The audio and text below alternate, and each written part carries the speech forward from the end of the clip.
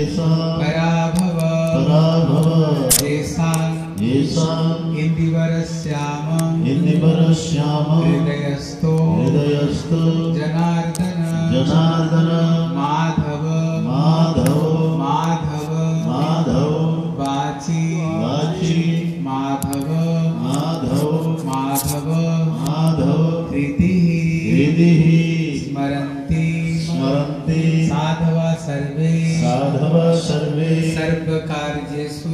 सर्वकार्येषु माधवं माधवं तमादिदेवं तमादिदेवं करुणानिदानं करुणानिधानं तमालवर्णं तमालवर्णं सुहृदावतारम्। श्वेतावतारम् अपार संसार अपार संसार समुद्रसेतु समुद्रसेतुं भजामहे। भजामहे। भागवत। भागवत। स्वरूपं स्वरूपं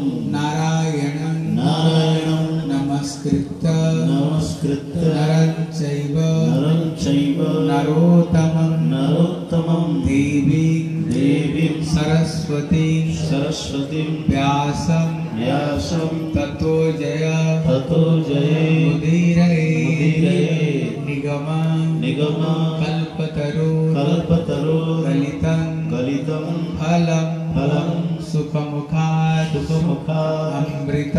अमृत। द्रवसंयुतं। द्रवसंयुतं। पीबत। पीवत भागवतं। भागवतं। रसमालयं रसमालयं मुहुरहो। मुहुरयो रसिका। रसिका। भुवि भावुका भुवि भावुका श्रीकृष्ण। श्रीकृष्ण। चैतन्य।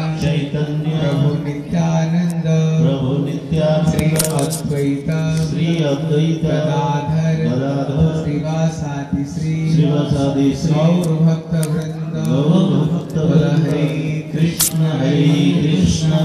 कृष्ण कृष्ण हरे हरे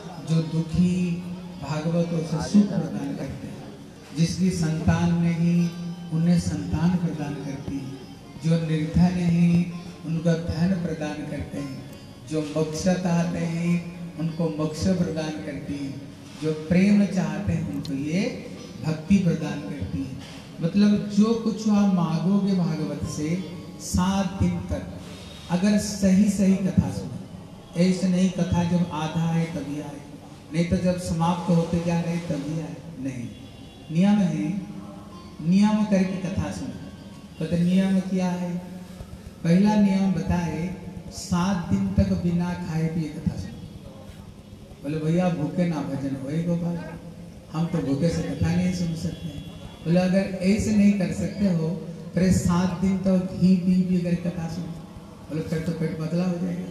बोले, अगर ऐसे नहीं कर सकते हो, फिर फलाहार करके कथा सुनो बोले हाँ ये तो ठीक है, लेकिन तभी कठिन है लेकिन सबसे जो बेस्ट बताया, एक बार फलाहार करो और एक बार बढ़िया से भोजन करो। इसको सबसे बढ़िया बताया भोजन अच्छे तरह से एक बार कर लो और एक बार फलाहार कर लो।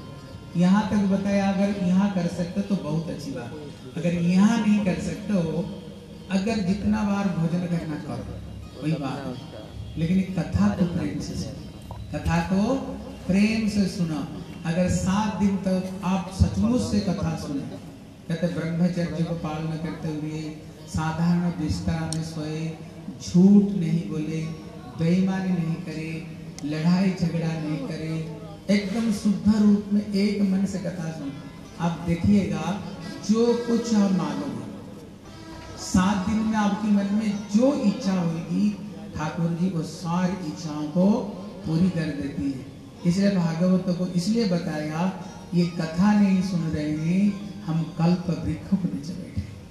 ये कल्प वृक्ष ये भागवत नहीं, ये साक्षात श्री वाक्य भी आएगी इसलिए आप लोगों को मन में जो इच्छा है आप जा जो कुछ चाहते हो भागवत से वो इच्छा को करते हुए आप भागवत को मन में जो फूल है हम उसको अर्पण करें। बोले श्रीमद भागवत कथा मृतम की जय। जय आज प्रभु जी आज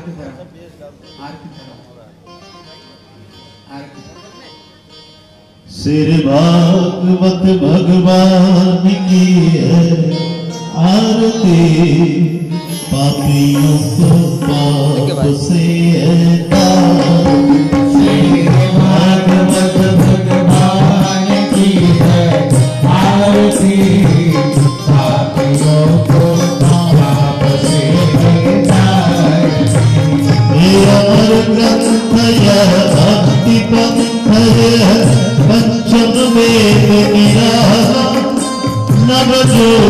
लगा है।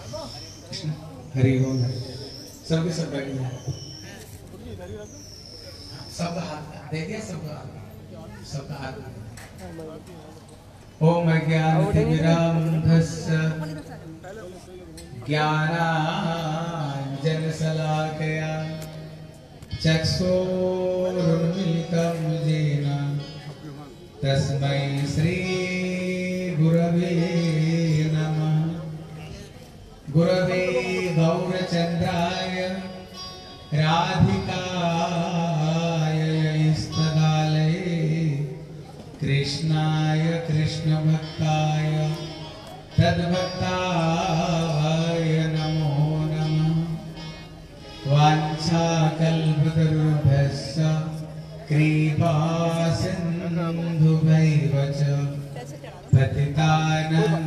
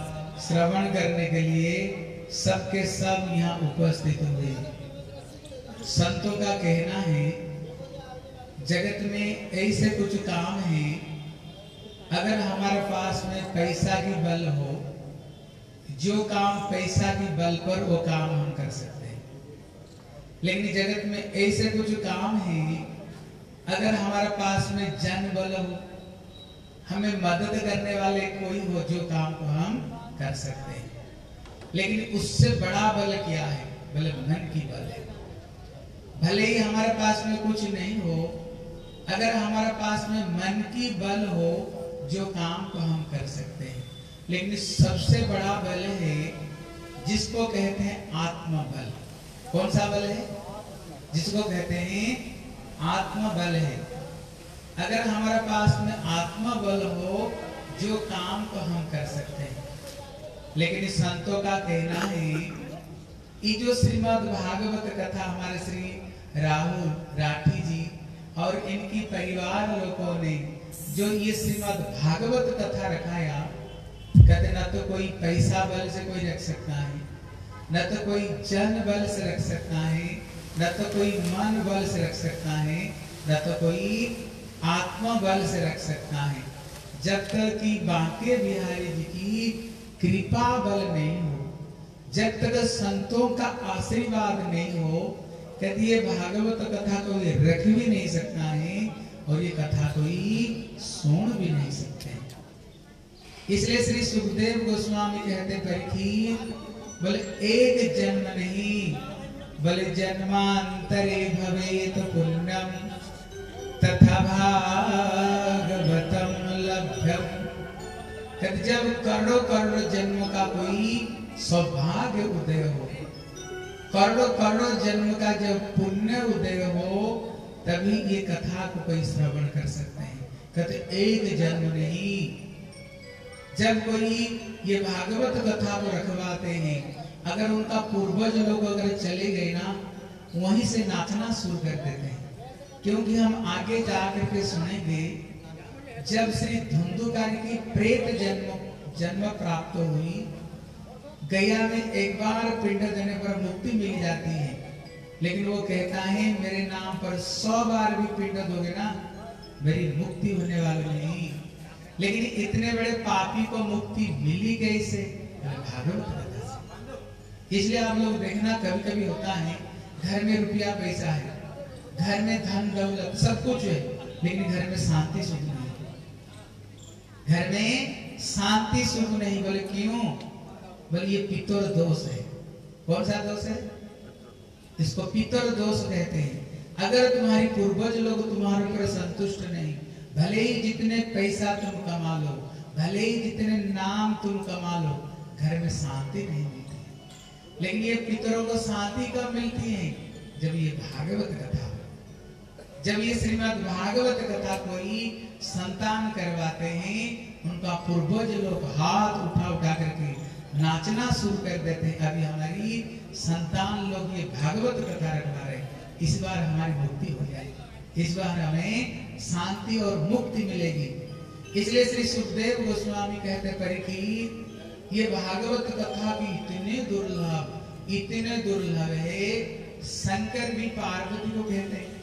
देखो, आज का जो दिन है ना, बहुत बढ़िया दिन है। आज क्या बताओ तो बोलो। आज शिवरात्रि है। शिवरात्रि है ना? इसलिए ये भागवत कथा कौन किसको कहाँ पर सुनाए बोले, शंकर जी, ये सर्वप्रथम माता पार्वती को ये अमरनाथ में ये अमर कथा सुनाई। ये ग्रंथ शंकर जी की है। शंकर जी पार्वती को ये कथा सुनाए थे। इसलिए आज का दिन जो भागवत की शुरुआत है समझो बहुत बढ़िया दिन में बहुत अच्छी दिन में आज ये भागवत कथा शुरू हुई है। साधारण दिन नहीं एक तो शिवरात्रि और ग्रंथ श्री शंकर जी का ग्रंथ है। बोले श्री भोले बाबा की बोले माता पार्वती देवी की हम लोग जयकार ठीक से नहीं देखो जो जितने ज़ोर से जय देता है ना? भगवान की थोड़ी जय उनका तो जय जय नहीं है। कहते उनका जय देने से अपना जय होता है? उनकी जय देने से अपना जय होता है। श्रीमद् भागवत कथा मृतम की इसलिए श्री शंकर जी पार्वती को कहते हैं बोले पार्वती जगत में सब चीज़ सुलभ में मिलती है। लेकिन पार्वती एक चीज़ बड़ी दुर्लभ में प्राप्त होती माता पार्वती प्रश्न करती है, बोले, प्रभु, आप कौन सा चीज़ वो कह रहे हैं बोला दुर्लभ है? ये शंकर जी कहते हैं, बोले सतसंगति दुर्लभ संसार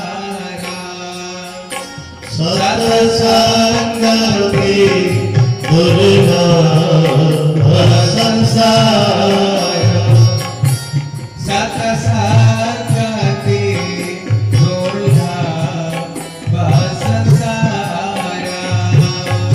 走，走，走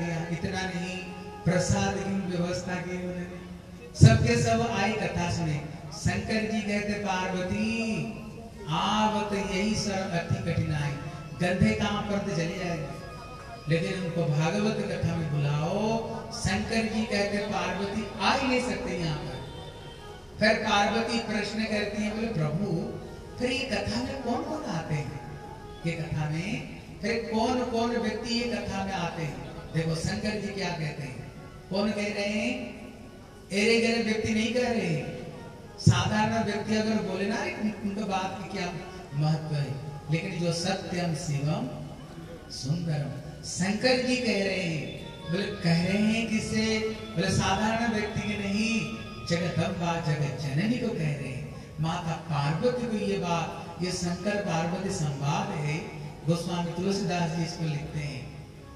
पार्वती कहती है, प्रभु, फिर कथा में कौन कौन आएँगे? देखो, शंकर जी क्या कहते हैं।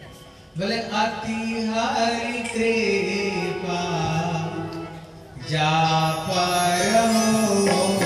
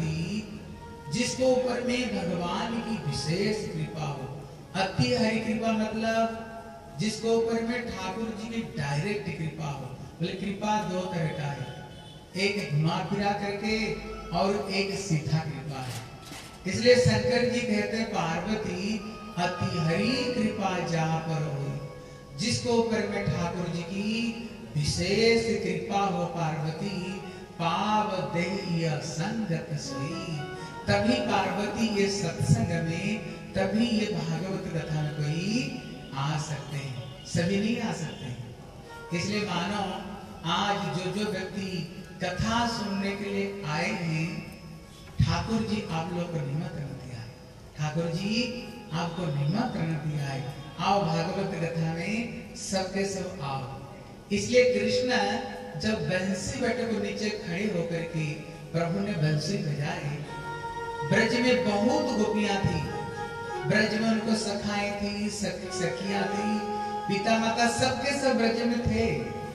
लेकिन बंसी ध्वनि सभी को कान में आवाज़ नहीं पड़ी कृष्ण जिसको बुलाना चाहते थे ये आवाज़ केवल उन्हीं को कान में पड़ी और केवल वही लोग ही ये रासों में उपस्थित हुए। उसी तरह आज भगवान कृष्ण ने यहाँ पर तो भागवत कथा रूपी बंसी बजाए लेकिन ये बंसी की आवाज़ सभी की कान में नहीं पड़ी। किसको कान में पड़ी? कृष्ण जिसको बुलाना चाहते थे, उनको कान में पड़ी, और वही लोग ही आज ये श्रीमद भागवत कथा श्रवण करने के लिए वही लोग ही आए। बोले श्रीमद भागवत कथा मृत की जय। सबके सब और एक बार ज़ोर से बोले श्रीमद भागवत कथा अमृतम की जय इसलिए श्री सुखदेव गोस्वामी परीक्षित महाराज को कहते बोले परीक्षित ये जो श्रीमद भागवत कथा, ये बड़ा दुर्लभ है। कहते, भैया, कितना दुर्लभ है देखो, ये भागवत कथा रखना और ये कथा सुनना कितना दुर्लभ है। बोले, स्वर्गे सत्य च कैलासे, वैकुंठे नास्ते अमरस अतः सद्भाग्या। श्री सुखदेव गोस्वामी कहते परीक्षित कहते स्वर्ग में देवता रूप में जन्म लेने पर भी उनकी नसीब में भी ये भागवत कथा सुनने को नहीं मिलती। देखो, आज तो एक शिवरात्रि है। आज और भी एक बढ़िया तिथि आपको पता है आज क्या है? बोलो तो। एक तो शिवरात्रि, एक बहुत बढ़िया तिथि। आज और कौन सा तिथि जानते हो? जब हम आसाम से ट्रेन में आ रहे थे, देखा कितने सौ, हज़ार हज़ार लोग सब के सब प्रयाग में जा रहे थे, इलाहाबाद स्नान करने के लिए। इसलिए आज जो स्नान महीना सबसे बड़ा स्नान आज है। इसलिए हमने देखा ट्रेन में केवल वही लोग जा रहे हैं इलाहाबाद में। इलाहाबाद आएगा, ट्रेन पूरा पूरा खाली हो गई सब के सब जा रहे थे स्नान करने के लिए। इलाहाबाद जा रहे थे। आज श्री कुंभ मेला भी है। आज कौन सा है? आज श्री कुंभ मेला भी आज है। देखो, ये कुंभ मेला क्यों होता है? ये चीज़ को समझो। और ये भागवत कथा है क्या चीज़? ये चीज़ को समझो। इसलिए श्री सुखदेव गोस्वामी कहते परीक्षित बोले, स्वर्गे सत्य कैलासे। कहते, स्वर्ग में देवता रूप में जन्म लेने पर भी उनकी नसीब में भी ये भागवत कथा नहीं इसलिए जिस समय से सुखदेव गोस्वामी ये श्रीमद भागवत कथा करने जा रहे थे, जिन जिन देवताओं को हम घर घर में पूजा करते हैं, वो तैतीस करोड़ देवता स्वर्ग से वो अमृत कलश लेकर आए। बोले, हे सुखदेव गोस्वामी, आप परिचित महाराज को क्यों कथा सुना रहे हो? आप इसलिए कथा सुनाने जा रहे हो, इनको श्री, श्रृंगी ऋषि का अभिशाप है। सप्तम दिवस में इनको तक्षक दंशन करेगा। इसलिए कथा सुनाने जा रहे हैं। बोले हाँ। बोले, देखो, हम अमृत कलश लेकर आए लो, ये पूरा के पूरा अमृत कलश ले लाओ। और इसको श्री परीक्षित महाराज को पिला दो, ये अमर हो जाएगा। लेकिन ये जो श्रीमद् भागवत कथा आप परीक्षित को सुनाना चाहते हो, ये कथा हमें सुना ये कथा हमें सुना दो। लेकिन श्री सुखदेव गोस्वामी ये तैतीस करोड़ देवता को भगा दिया वहाँ से। कथा सुनाने नहीं दिए। वो उदाहरण देते हैं, को काच को मणि मान। उदाहरण दिया, अगर कोई कांच के टुकड़े लेकर के आए, आपको बोले, ये कांच के टुकड़े आप ले लो, आपको पास में जो पारस मणि है, वो पारस पत्थर दे दो, आप दे दोगे? नहीं दोगे। बल्कि जो श्रीमद् भागवत ग्रंथ है, ये जो श्रीमद् भागवत कथा, ये कोई साधारण कथा नहीं। ये स्वयं बांके बिहारी ये स्वयं कृष्ण कलयुग में जीव की कल्याण करने के लिए ये श्रीमद् भागवत ग्रंथ रूप में, ये स्वयं कृष्ण ही अवतीर्ण हुए। और भगवान को तुम, तुच्छ अमृत को तुमने बराबर करना चाहते हो स्वर्ग अमृत पीने पर क्या होता है? बोले, तब तक ये स्वर्ग में रहते हैं जब तक इनकी पुण्य समाप्त नहीं हो जाता है। पुण्य समाप्त होते ही उनको फिर गिरना पड़ता है। फिर गिरना पड़ता है। देखो, ये पूरी अमृत कलश देने पर भी देवताओं की नसीब में ये भागवत कथा सुनना नहीं मिला। देखो, ये कुंभ मेला क्यों होता है? हम लोग को पता है बताओ तो ये कुंभ मेला बारह साल में कई छह साल में, कभी तीन साल में ये कुंभ मेला क्यों होता है? आपको पता है कुंभ मेला क्यों होता है? किसको किसको पता है ये कुंभ मेला क्यों होता है? जानते हो ये कुंभ मेला क्यों होता है? बोले, श्री, देखो, ये कथा सुनो। बोले, श्री कश्यप ऋषि के दो दो पत्नी थी। इनकी दो पत्नी थी, कद्रु और विनता कहती है विनता का जो बेटा श्री गौरव जी कद्रु की संतान ये सर्प है। एक दिन दोनों में लड़ाई हो गई। आपको पता होगा, अगर एक पति का अगर दो पत्नी होगी, दिन भर महाभारत है। इसलिए कभी ये दोनों में लड़ाई हुई। लड़ाई में जो बीनता कद्रु की दासी बन गई। बीनता का बेटा गरुड़ एक दिन गरुड़ ने कद्रु को पूछा क्या देने पर तुम मेरी मैया को दासी बन से छुटकारा दिला सकते हो? बोले, यदि स्वर्ग से तुम अमृत कलश ला करके दे दोगे, ये दासी पड़े से तुम्हारी मैया को मैं छोड़ दूँगा। छोड़ दूँगी। अभी गौरव स्वर्ग में गया, लेकिन जब वो अमृत कलश लाया था, चार जगह पर वो अमृत कलश रखा था।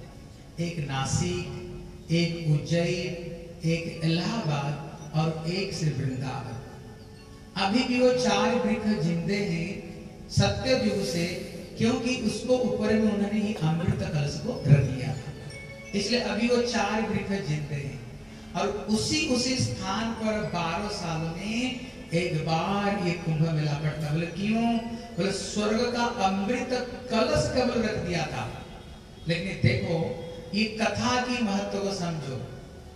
श्री सुखदेव, श्री देवता लोग कहते हैं हे सुखदेव गोस्वामी, लो, ये पूरी की पूरी अमृत कलश ले लो। पूरी की पूरी अमृत कलश ले लो। लेकिन ये इसका विनिमय में हमें थोड़ा ये भागवत कथा सुना दो लेकिन उन्होंने कथा नहीं सुनाए तब समझो ये भागवत कथा की कितने महत्व है। कितने महत्व है।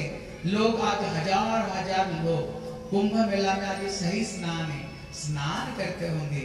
लेकिन उनको जो पुण्य की प्राप्ति होगी जो कथा सुन रहे हो, उससे करोड़ों करोड़ों गुण ज़्यादा आपको पुण्य मिलेगी, जो ये भागवत कथा रूपी गंगा में स्नान कर रहे हो। इसलिए वो गंगा स्नान से भी त्रिवेणी आज प्रयाग में गंगा, यमुना, सरस्वती में स्नान है। लेकिन उससे ज़्यादा महत्व जो कथा रूपी गंगा में स्नान कर रहे हो। इसलिए आज हम लोग का समझो बड़ा सौभाग्य दिन जो कि आज हम लोग यहाँ बैठ करके ये भागवत कथा को श्रवण कर रहे हैं। श्रीमद भागवत कथा मृतम की जय। जय श्री श्री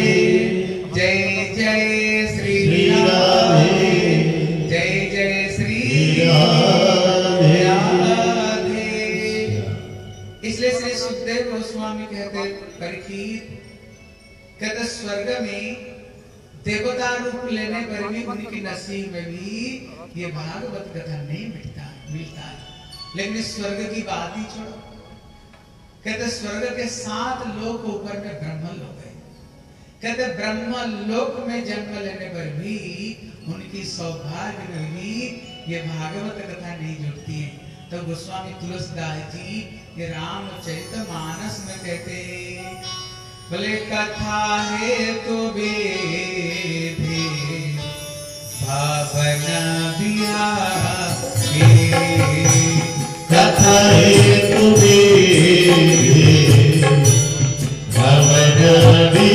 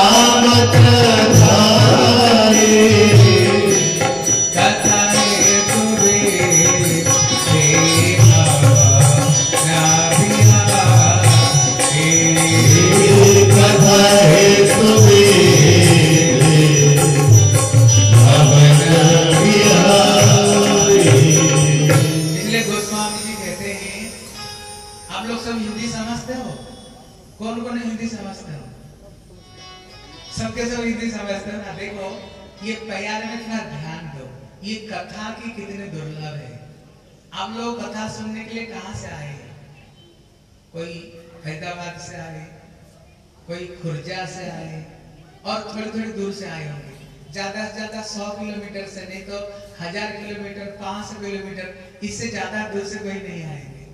देखो, यहाँ गोस्वामी जी क्या कहते हैं, अगर श्री ब्रह्मा जी को, ब्रह्मा कौन है? सृष्टि करता दुनिया की। अगर ब्रह्मा और ब्रह्मांड को अगर पता चलता है, कहीं ये भागवत कथा हो रही है, कहते कथा हेतु विधि माने ब्रह्मा, भवन मतलब होता है घर, बिहाई मतलब होता है छोड़ करके। बोले, कहाँ से आते बोले ब्रह्म लोग से। बोले ब्रह्म लोग भैया कहाँ है? बोले, भूर भुवा स्व। ये पृथ्वी लोक है। इसको ऊपर में देव लोक है। उसको ऊपर में जन, तप सत्य लोक सर्वश्रेष्ठ लोग को ब्रह्मांड का सबसे ऊंचाई, जो धाम बताया ये ब्रह्म लोग है। जहाँ पर ब्रह्मा जी रहते हैं। अगर उनको कहीं पता चले, कहीं कथा हो रही है वो ब्रह्म लोक से धाई मतलब दौड़ दौड़ करके। हम दौड़ दौड़ कर कहा जाते हैं? जहाँ बहुत महत्वपूर्ण काम हो। अगर ब्रह्मा ब्रह्मांड को पता चले कहीं, भागवत कथा हो रही है कहते वो ब्रह्म लोक छोड़ करके इसी मरते जगत में कथा सुनने के लिए आते हैं। सुखदेव गोस्वामी कहते भैया, ब्रह्मलोक की बात ही छोड़ो। बोले कैलाश से कैलाश मतलब जहाँ पर श्री भोले बाबा रहते अगर उनको पता चले कहीं भागवत कथा हो रही है तो गोस्वामी जी कहते हैं, एक बार तृतीया युग माही, शंभु गए कुंभ जसरी सिपाही। एक समय तृतीया युग में शंकर और सती कथा सुनने के लिए आए। बोले, कहाँ से? बोले, कैलाश लोग से। बोले, कहाँ आए? बोले, श्री अगस्त ऋषि को पास। वो कथा सुनने के लिए, लेकिन यहाँ पर एक शिक्षा देते हैं ये देवता लोग जब आए ना, वो अकेले नहीं आए। देवी को लेकर के आए। जब ब्रह्मा जी आए, वो भी अकेला नहीं आए। ब्रह्मा जी को लेकर के आए। लेकिन जब शंकर कथा सुनने के लिए आए, वो भी अकेले नहीं आए। किसको लेकर के आए? सती पार्वती को लेकर के आते हैं। देखो, यहाँ एक बढ़िया शिक्षा देते हैं। बोले, कथा सुनने के लिए अकेले मत आओ। अगर देवियाँ आए ना, अपना देवता को लाओ। और देवता आए तो देवी को लेकर बोले, ऐसे क्यों? बोले, ऐसे क्यों? दोनों दोनों की कथा सुनने के लिए आए। आप देखना आप जब सात दिन तक कथा सुनेंगे ना, आपका हृदय बदलता हुआ रहेगा। आप इसी रूप में नहीं रहोगे। क्यों? भागवत की हर स्थान स्थान पर बताएगा, ये जीवन दुर्लभ है। ये मानव शरीर सहज में नहीं मिलता है, जिसको भगवान राम अयोध्या वासियों को समझाते हैं। बोले, क्या समझाते हैं? बोले बड़े भाग मानो तन पावा। बड़े भाग मानो तन पावा।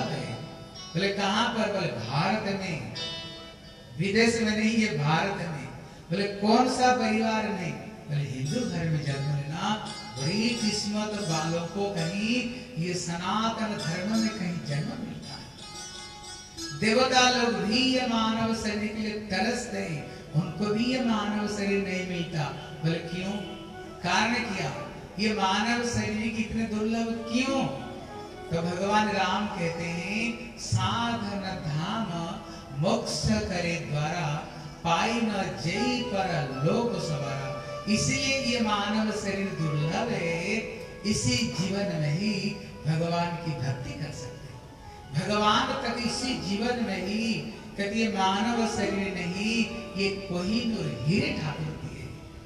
ये कोहिनूर हीरे हमें ठाकुर दिया।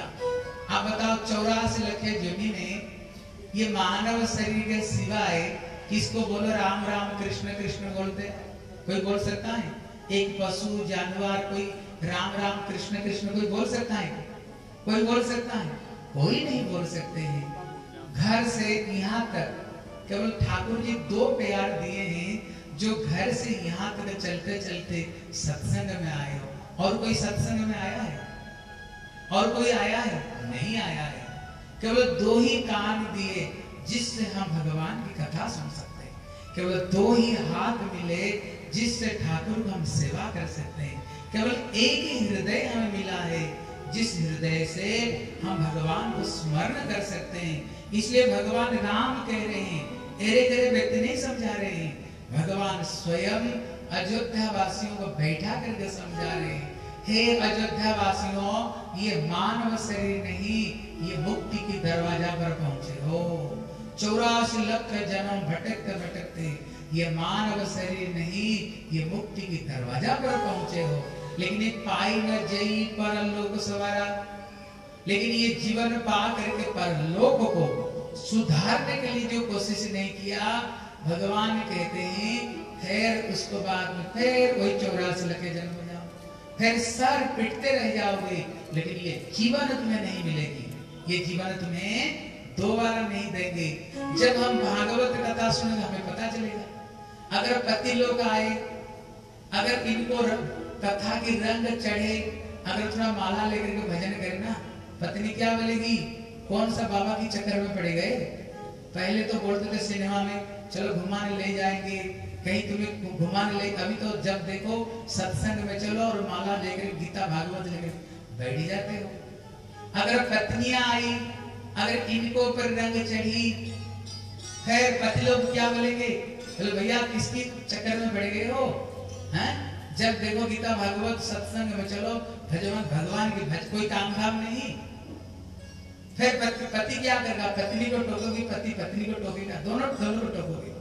लेकिन अगर दोनों सत्संग में आए तो अगर दोनों को ऊपर अगर रंग चढ़े ना फिर दोनों कोशिश करोगे। देखो समय को टीवी देख करके सीरियल देख करके समय को नष्ट मत किया करो। चलो आज बैठ करके थोड़ी हम सत्संग सुनेंगे प्रभु की भजन करेंगे थोड़ी गीता भागवत पढ़ेंगे दोनों अगर एक साथ में चले ना फिर तो पटरी बढ़िया चलेगी लाइन बढ़िया चलेगी अगर एक इधर खींचे, अगर इधर खींचे ना, फिर तो गड़बड़ी है। इसलिए शंकर जी जब जाते हैं, अकेले नहीं जाते हैं। वो पार्वती को लेकर के जाते हैं। ब्रह्मा जब आते हैं, वो अकेले नहीं आते। वो ब्रह्मांड को लेकर के आते हैं। जब देवता लोग आते हैं, वो भी अकेले नहीं आते। अपना देवियों को लेकर के चलते हैं। शिक्षा देते हैं, सत्संग में दोनों चलो। सत्संग में दोनों चलोगे, दोनों प्रभु की भक्ति करोगे ना, तुम्हारे घर नहीं, ये भगवान की धाम बन जाएगा। भगवान की वृंदावन धाम बनेगा। इसलिए कथा सुनने के लिए दोनों जानी चाहिए। तब श्री सुखदेव गोस्वामी कहते परीक्षित ये स्वर्ग में भी कथा नहीं, ये ब्रह्म लोक में भी नहीं, ये कथा कैलाश में भी नहीं, बोले, कैलाश की बात छोड़ो बोले, वैकुंठ नाचते कहती है, वैकुंठ में भी रस नहीं। आप लोगों ने हनुमान का नाम सुने हो? कौन कौन हनुमान का नाम जानते हो? हाथ उठाओ तो हनुमान का नाम कौन कौन जानता है? सब जानते हो। देखो, बोले, जिस समय भगवान राम ये अयोध्या छोड़ करके अभी प्रभु अपना वैकुंठ धाम खाने के लिए तैयारी सारे अयोध्या वासी तैयारी बैठे, प्रभु वैकुंठ जा रहे हैं हम सबके सब प्रभु के साथ में वैकुंठ चलेंगे। ले- देखा सबके सब तो वहाँ पर बैठे हैं। लेकिन एक व्यक्ति वहाँ है ही नहीं। बोले "कौ- कौन नहीं? बोले, श्री हनुमत लाल जी नहीं। भगवान राम सोच रहे हैं। बोले, कहते हैं ना, दुनिया चले ना श्री राम के बिना। राम जी चले ना हनुमान के बिना। दुनिया चले न श्री राम के बिना।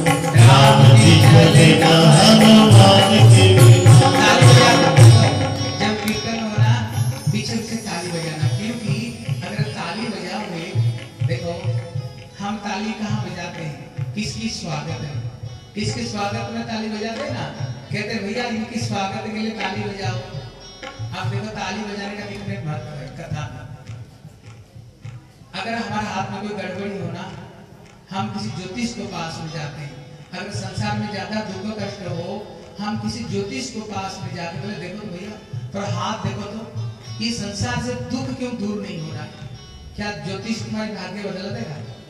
बल्कि बोलेगा, ये स्टोन पहनो, एक हज़ार रुपया। ये पन्ना पहनो, पाँच हज़ार रुपया। है?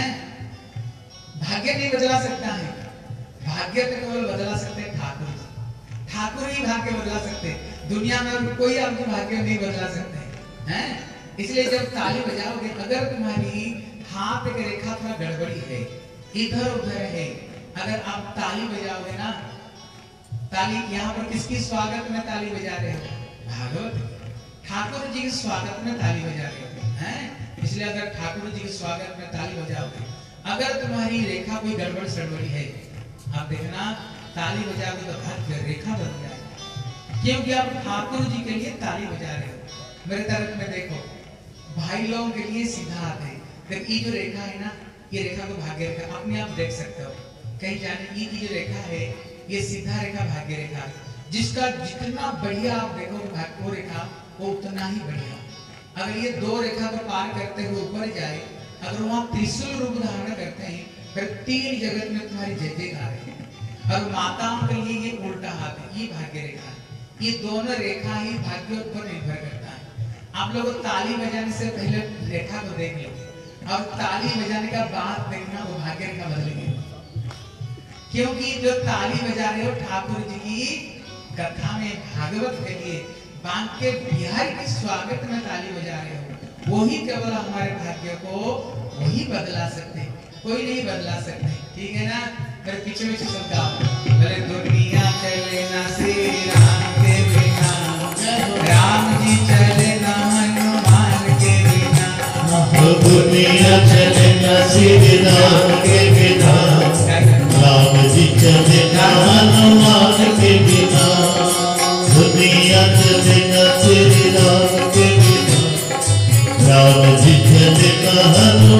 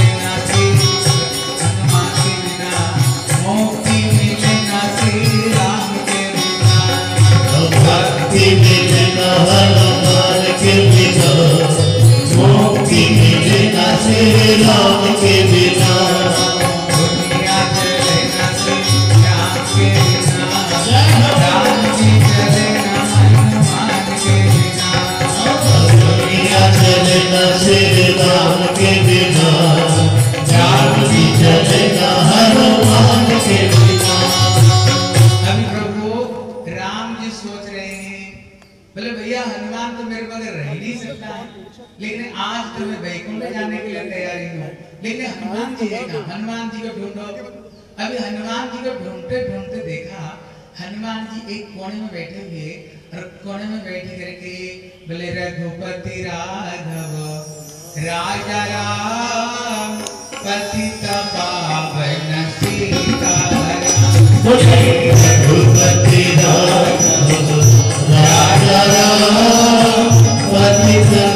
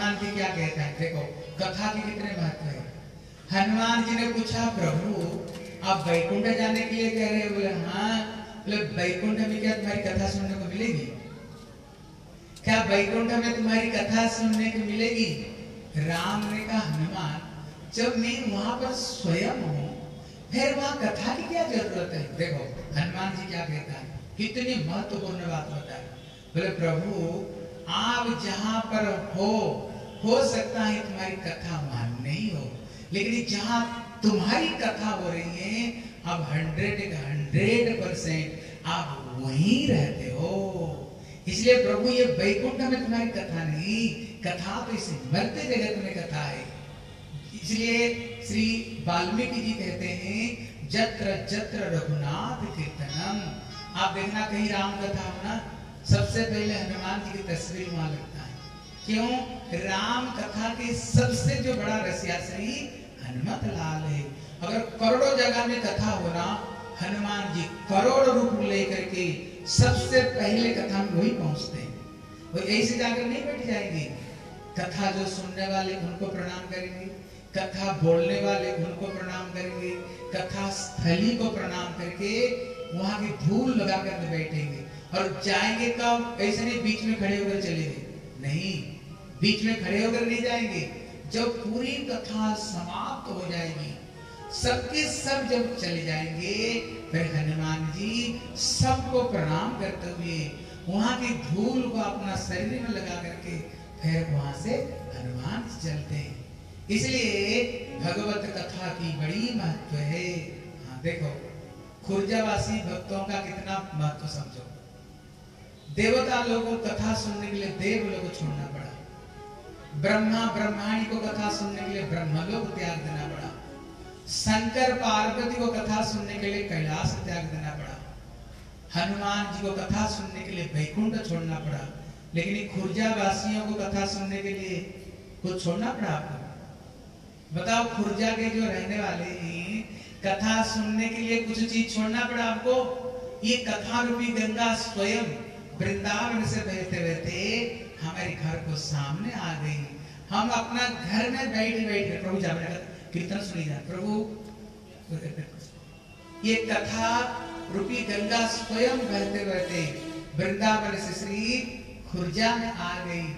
और हम अपना घर में बैठ बैठ करके कथा रूपी गंगा में हमने स्नान कर लिया। समझो हम लोग बड़े पुण्य आत्मा हैं, बड़े सौभाग्यवान। जो बैठ करके ये कथा को हम श्रवण कर रहे हैं। अभी यहाँ ये प्रश्न आता है, हम कलयुग का जीव है ना? देखना, जब तो कोई लाभ नहीं हो ना, तब तो कोई काम नहीं करते।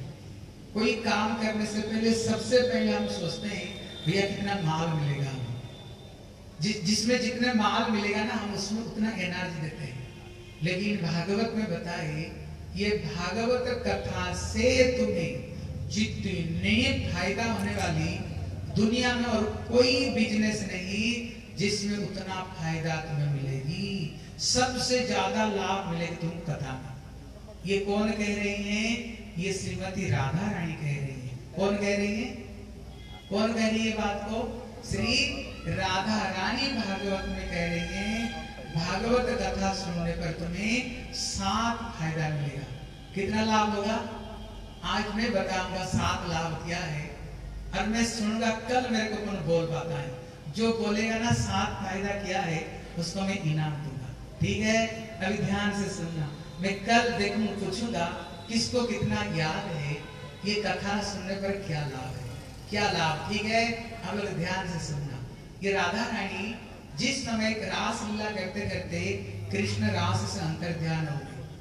गोपियों ने श्याम सुंदर को ढूंढे, लेकिन ढूंढते ढूंढते जब श्याम सुंदर मिले नहीं तो गोपियों ने वृंदावन में जमुना किनारा में गए और जमुना किनारा में बैठ करके वहीं पर ये भजन को गाते हैं।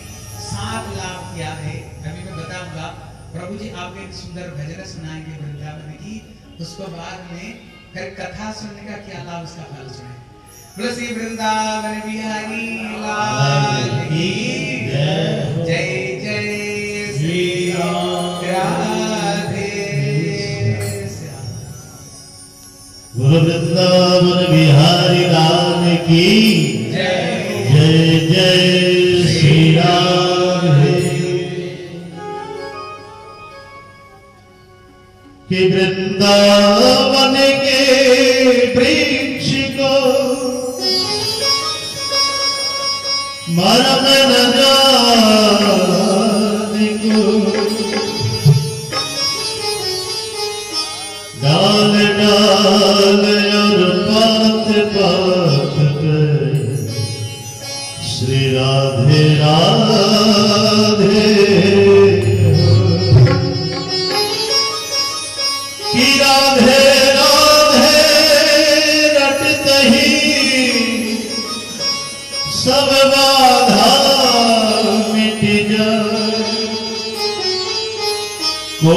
जन्म के आपदा श्री राधा नाम। तो आइए, वृंदावन कौन कौन जाएँगे। थोड़ा हाथ उठा के बताएँ कौन कौन जाएँगे। अच्छा कुछ कुछ लोग हाथ नहीं उठा रहे इसके मतलब नहीं जाएँगे क्या? देखिए, वृंदावन जाने के लिए कुछ नहीं लगता है यहाँ। फ्री सेवा है। क्योंकि हम लोग मानसिक रूप से चलेंगे। वृंदावन। तो आइए सभी लोग ताली बजाकर, बड़े मस्ती से, वहाँ अच्छा गिरिराज जी कौन कौन गए? गए? तो गिरिराज जी में देखे होंगे, सब लोग कीर्तन करते भय, नाचते भय, परिक्रमा लगाते। लगाते कि नहीं? तो इसी प्रकार, चलिए, कीर्तन करते भय सभी लोग, ताली बजाते भय क्यों और जो नाच सके हम लोग के लिए ना एक इस जगह हमने खाली कर दिया हाँ। अगर कोई नाच सकते हो यहाँ पर नाच सकते हो हाँ यहाँ के नाच सकते। हरे वृंदावन धाम अपार रते जा राधे राधे श्री वृंदावन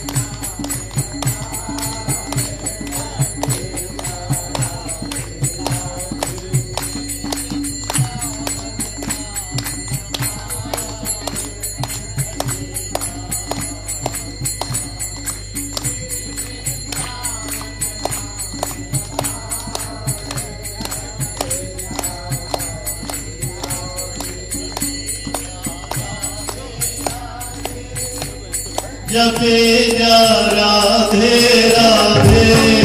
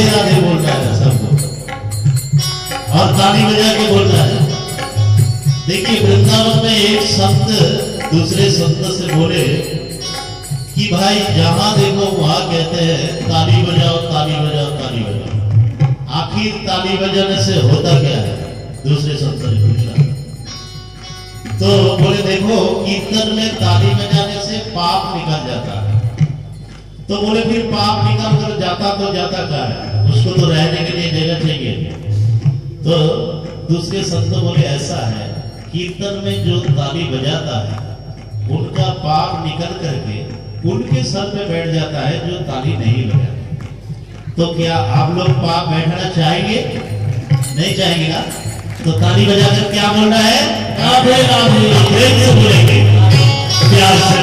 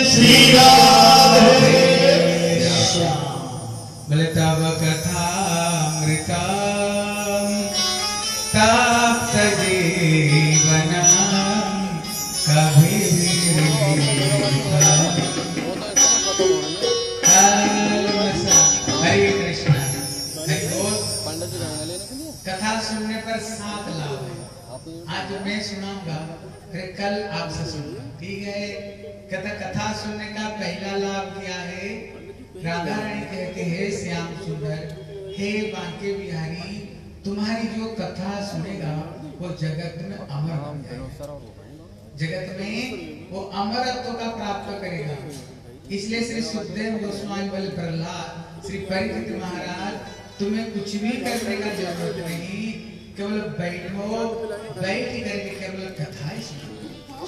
हरे कृष्ण, पानी देने वाले, पानी, हरे बोल, हरे कृष्ण, अभी पानी नहीं देना, जब कीर्तन हो ना, तभी पानी दिया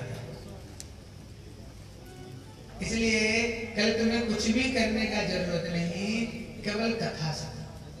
कथा सुनते सुनते जब तुमको ये अनुभूति हो जाएगी, अभी मैं भगवत धाम को प्राप्त कर गया, तभी मैं तेरे को छोड़ूँगा नहीं तो नहीं छोड़ूँगा इसलिए भागवत का एक नाम अमर कथा, बोले क्यों? बोले, शंकर जी माता पार्वती को ये कथा अमरनाथ में सुनाई थी। बोले, कथा क्या बड़ी अच्छी प्यारी कथा थी। आप लोग नारद जी का नाम जानते हो? कौन नारद जी का नाम सुने हो? हम कहते ना तू क्या नारद जी का काम कर रहे हो? मतलब झगड़ा लगा रहे हम बोलते तू क्या नारद जी की रोल कर रहे हो? नहीं, नारद ऐसे नहीं। नारद ऐसे कुछ काम करते हैं जो प्रभु की कोई नया लीला प्रकट हो जाए। फिर नारद जी उसका आनंद लेते हैं। एक दिन नारद जी पहुँचे कैलाश में। उसी समय में शंकर जी वो गए हुए थे सत्संग जब नारद जी वहाँ पर पहुँचे जा करके माता जी को बोले, माता जी आपकी बारे में सोच करके मेरे बड़ा कष्ट लगता है। बोले, क्यों? बोले, बात छोड़ो, बोल करके क्या होगा? अगर माताओं का आधी बात सुना दो ना, बस्ती नहीं हजम नहीं होती। जब तक आपसे पूरी बात नहीं सुन ले। अगर शंका वाला बात बता दिया तो मेरे पीछे ही बढ़ जाएगी। बोले, हम तो आपके कुछ लगते ही नहीं। बात छोड़ो। हमें क्यों बोलेगा आप तो आपके बहुत सारे लोग हैं। आधी बात माताओं को कोई बचती नहीं। फिर नारद जी बोले, बोल कर क्या होगा बात छोड़ो। लेकिन आपको बार में सोच करके मेरा थोड़ा तकलीफ़ होता। है फिर पार्वती को पीछे पड़ गई बोले, बताना पड़ेगा, बात क्या है? बोले, आपने सुना हो, शंकर जी की और भी कोई साथी है? देखो, माताएँ सारी चीज़ें हजम कर लेंगी। लेकिन अगर पता चले उसको पति और भी किसको शादी किया हुआ, अब ये छुपा करके रखे, माताएँ कभी बात को बचा नहीं सकती, कभी हजम नहीं कर सकती। है भैया पार्वती बोले, क्या बोल रहे हो? शंकर जी और ही कोई साथी बोले हाँ आपको एक बात पता है कि नहीं? बोले, नहीं। फिर तो माता पार्वती। बोले, क्या बोल रहे हो? बोले, देखो, एक काम करना। शंकर जी सहज में नहीं बताएँगे। आप मान भवन में जाकर के लेट जाओ। शंकर जी को तभी पूछना जब तीन बार कसम खिला कर बोले, क्या पूछेंगे? बोले, बोलना आपकी गले में मुंडे की माला किसकी? फिर सारे रहस्य बता जाएँगे बस नारद जी इतना बोले, बस, वहाँ से गायब इतने में तो मैया पार्वती मान भवन में चली गई। सारे अलग अलंकार उतार करके महिला वस्त्र पहन करके लेट गई। शंकर जी जब आते थे, मैया पार्वती, चरण धोती थी चरणामृत लेती थी। पास में बैठा कर गरम गरम रोटी सब्ज़ी खिलाती थी, पंखा झुलाया करती थी। लेकिन जब शंकर जी आज आए तो कोई भी स्वागत करने वाले नहीं देखा, भैया, पार्वती का मान भवन में लेटी हुई शंकर जी ऊपर हाथ रखते हैं ना हाथ तो फेंक दिए। बोले, मैं तो पहले सोच रही थी, आप भोले बाबा लेकिन ये पता चला तो बड़े कपटी बाबा बोले मतलब? बोले, आपने और भी किसको शादी करके रखे हो? आपके आपके और भी कोई शादी अब तक ये बात मेरे को बताई नहीं? बोले तुमको पता कैसे चला? बोले, मेरे गुरु जी बताए, नारद जी मेरे को बात बताए। बोले ये बताओ, आपकी ये गले में मुंडे की माला किसकी है? आप इसको क्यों पहन रखे हो? फिर शंकर जी इसका रहस्य बताए। बोले, पार्वती, तुम्हें पता नहीं, पूर्व जन्म में तुमने सती थी। मैंने दूसरे शादी तक की है, लेकिन तेरे को ही शादी की, और किसी को नहीं। तू पूर्व जन्म में सती थी, और तेरे पिताजी कभी मेरे को अपमान की। इसलिए कटथल में तुमने ये शरीर त्याग दी एक जन्म नहीं, कितने जन्म से तुम शरीर त्याग देती हो? जब जब तुम शरीर त्याग देती हो, तब तक मैंने तेरे मुंड को गले में माला रूप में मैं धारण कर लेता। बोले, प्रभु, पहले में तो सोच रही थी आप तो कोई छोटी मोटी कपटी हो गए अभी तो पता चला, बहुत बड़ी कपटी निकले। बोले, कैसे? बोले, आपने ऐसे कौन सा अमर बोटी को आपने पान किया, जो आप मर नहीं रहे हो मैं मरती जा रही हूँ। बताओ, इसे कौन सा अमर बोटी को पान की? शंकर जी कहते पार्वती, वो अमर बोटी और कुछ नहीं, ये श्रीमद भागवत कथा। जब से मैंने ये भागवत कथा रूपी अमर बोटी को मैंने पान की, तब से मैंने अमृत को प्राप्त की। पार्वती कहती है, प्रभु, मुझे भी सुना आप भी अमर हो, मैं मरती जा रही हूँ। अगर मेरे को भी सुनाओगे, मैं भी अमर बन जाऊँगी। फिर दोनों आनंद पूर्वक रहेंगे। शंकर जी बोले, पार्वती, ये कथा को सब नहीं सुन सकते। बोले, जन्मांतरे भवेत पुण्यम, तथा भागवत लभ्यम कहते, करोड़ों करोड़ों जन्म का जब पुण्य उदय होता है पार्वती, तभी ये कथा कोई सुन सकते हैं। एक जन्म नहीं, बहुत जन्म जित, बहुत जन्म अर्जित, बहुत जन्म का अर्जित पुण्य से कथा सुन सकते हैं। बोले प्रभु, मैं तो कथा सुन सकती ना ना तुम कथा सुन सकते। क्यों? तुम श्रद्धा की प्रतीक हो, तुम श्रद्धा। तुम्हारे हृदय में भक्ति है। बोले, फिर तो सुनाओ बोले नहीं, जहाँ तक नहीं चलो, तेरे को अमरनाथ ले चलता हूँ। वहीं पर बट वृक्ष को नीचे बैठा करके मैं तेरे को कथा सुनाऊँगा। तुम हुंकार भरते रहना। बोले, ठीक है प्रभु जी।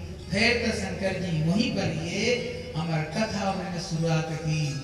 श्री वृंदावन बिहारी लाल की जयकार नहीं दे ज़ोर से जयकार लगा पता चले कथा हो रही है। श्रीमद् भागवत कथा मृतम की शंकर जी सुनाते जा रहे सुनाते जा रहे। मैया पार्वती हुंकार भरते जा रहे थे।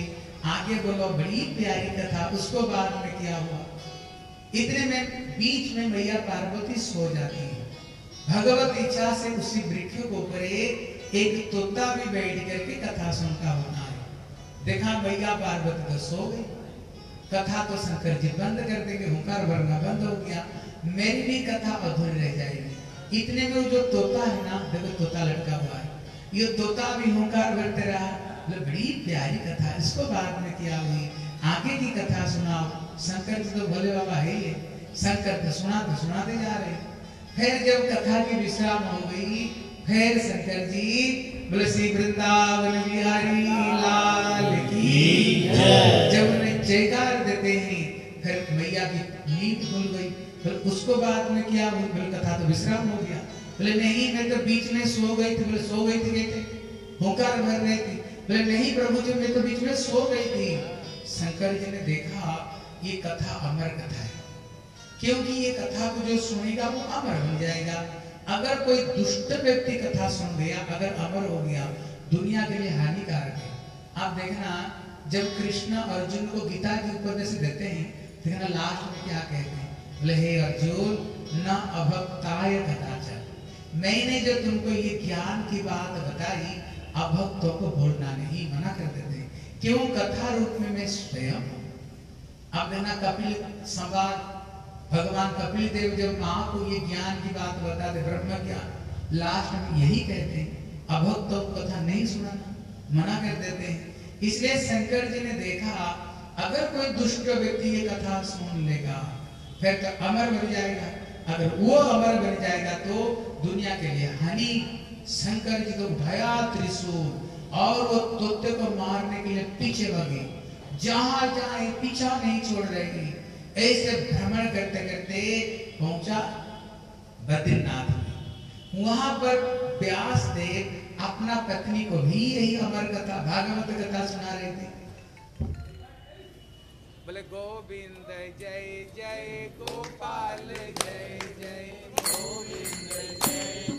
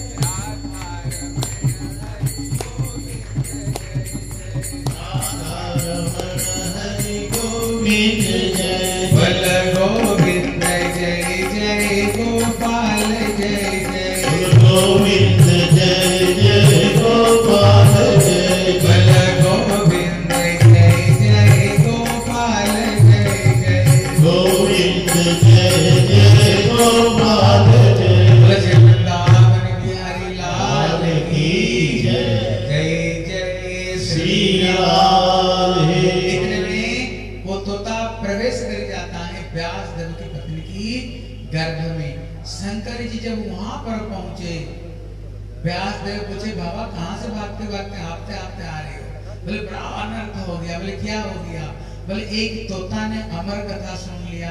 बोले, अमर कथा का मतलब क्या? बोले, जो सुनेगा वो मरेगा नहीं। बोले, सचमुच से आप भोले हो सचमुच से आप भोले हो आप स्वयं कहते हो कथा, अमर कथा, जो सुनेगा मरेगा नहीं। फिर उसको पीछा कैसे कर रहे हो मारने के लिए? शंकर जी बोले, अभी तो मेरे ध्यान ही नहीं था ये बात तो सही है फिर शंकर जी ध्यानस्थ हुए, ये तोता है कौन? क्योंकि अगर साधारण तोता होता ना कभी भी यहाँ बैठ कर एक कथा नहीं सुन सकता है।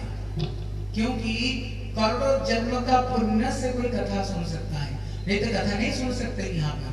तब ये सुनी कैसे शंकर जी ध्यान लगाए। ध्यान लगाया तो उन्होंने सब कुछ उन्होंने देखा। उन्होंने क्या देखा? बोले, प्रिया सुखश्री वृषभानुजाया पवित्र चंचो, प्रिय चुंबनेन निकुंज प्रसाद सदा निवासी। जैसे भगवान राम जब ये अयोध्या छोड़ करके गए, पूरा अयोध्या वासियों को लेकर गए, लेकिन इसे हनुमान व्रत कर गए। बोले, क्यों? बोले, हनुमान, अगर तू चला जाओगे ना, फिर मेरे भक्ति कौन प्रचार करेगा? उसी तरह जब भगवान कृष्ण ये दुनिया छोड़ करके गए ये तोता भी गोलोक वृंदावन से आया था।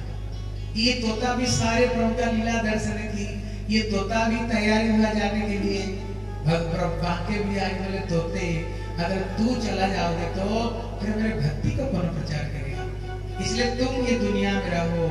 कृष्ण चले गए, वो तोता बड़ा दुखी होकर के भटक रहा था। मेरे प्रभु चले गए, प्रभु का लीला दर्शन नहीं हो पा रहा है।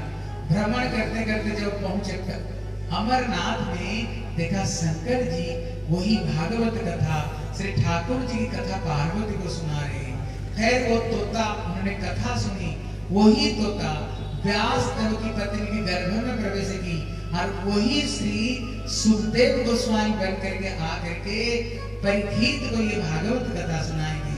शंकर जी अपना ध्यान सब कुछ वाह, कथा सुनाना मेरा सार्थक हो गया।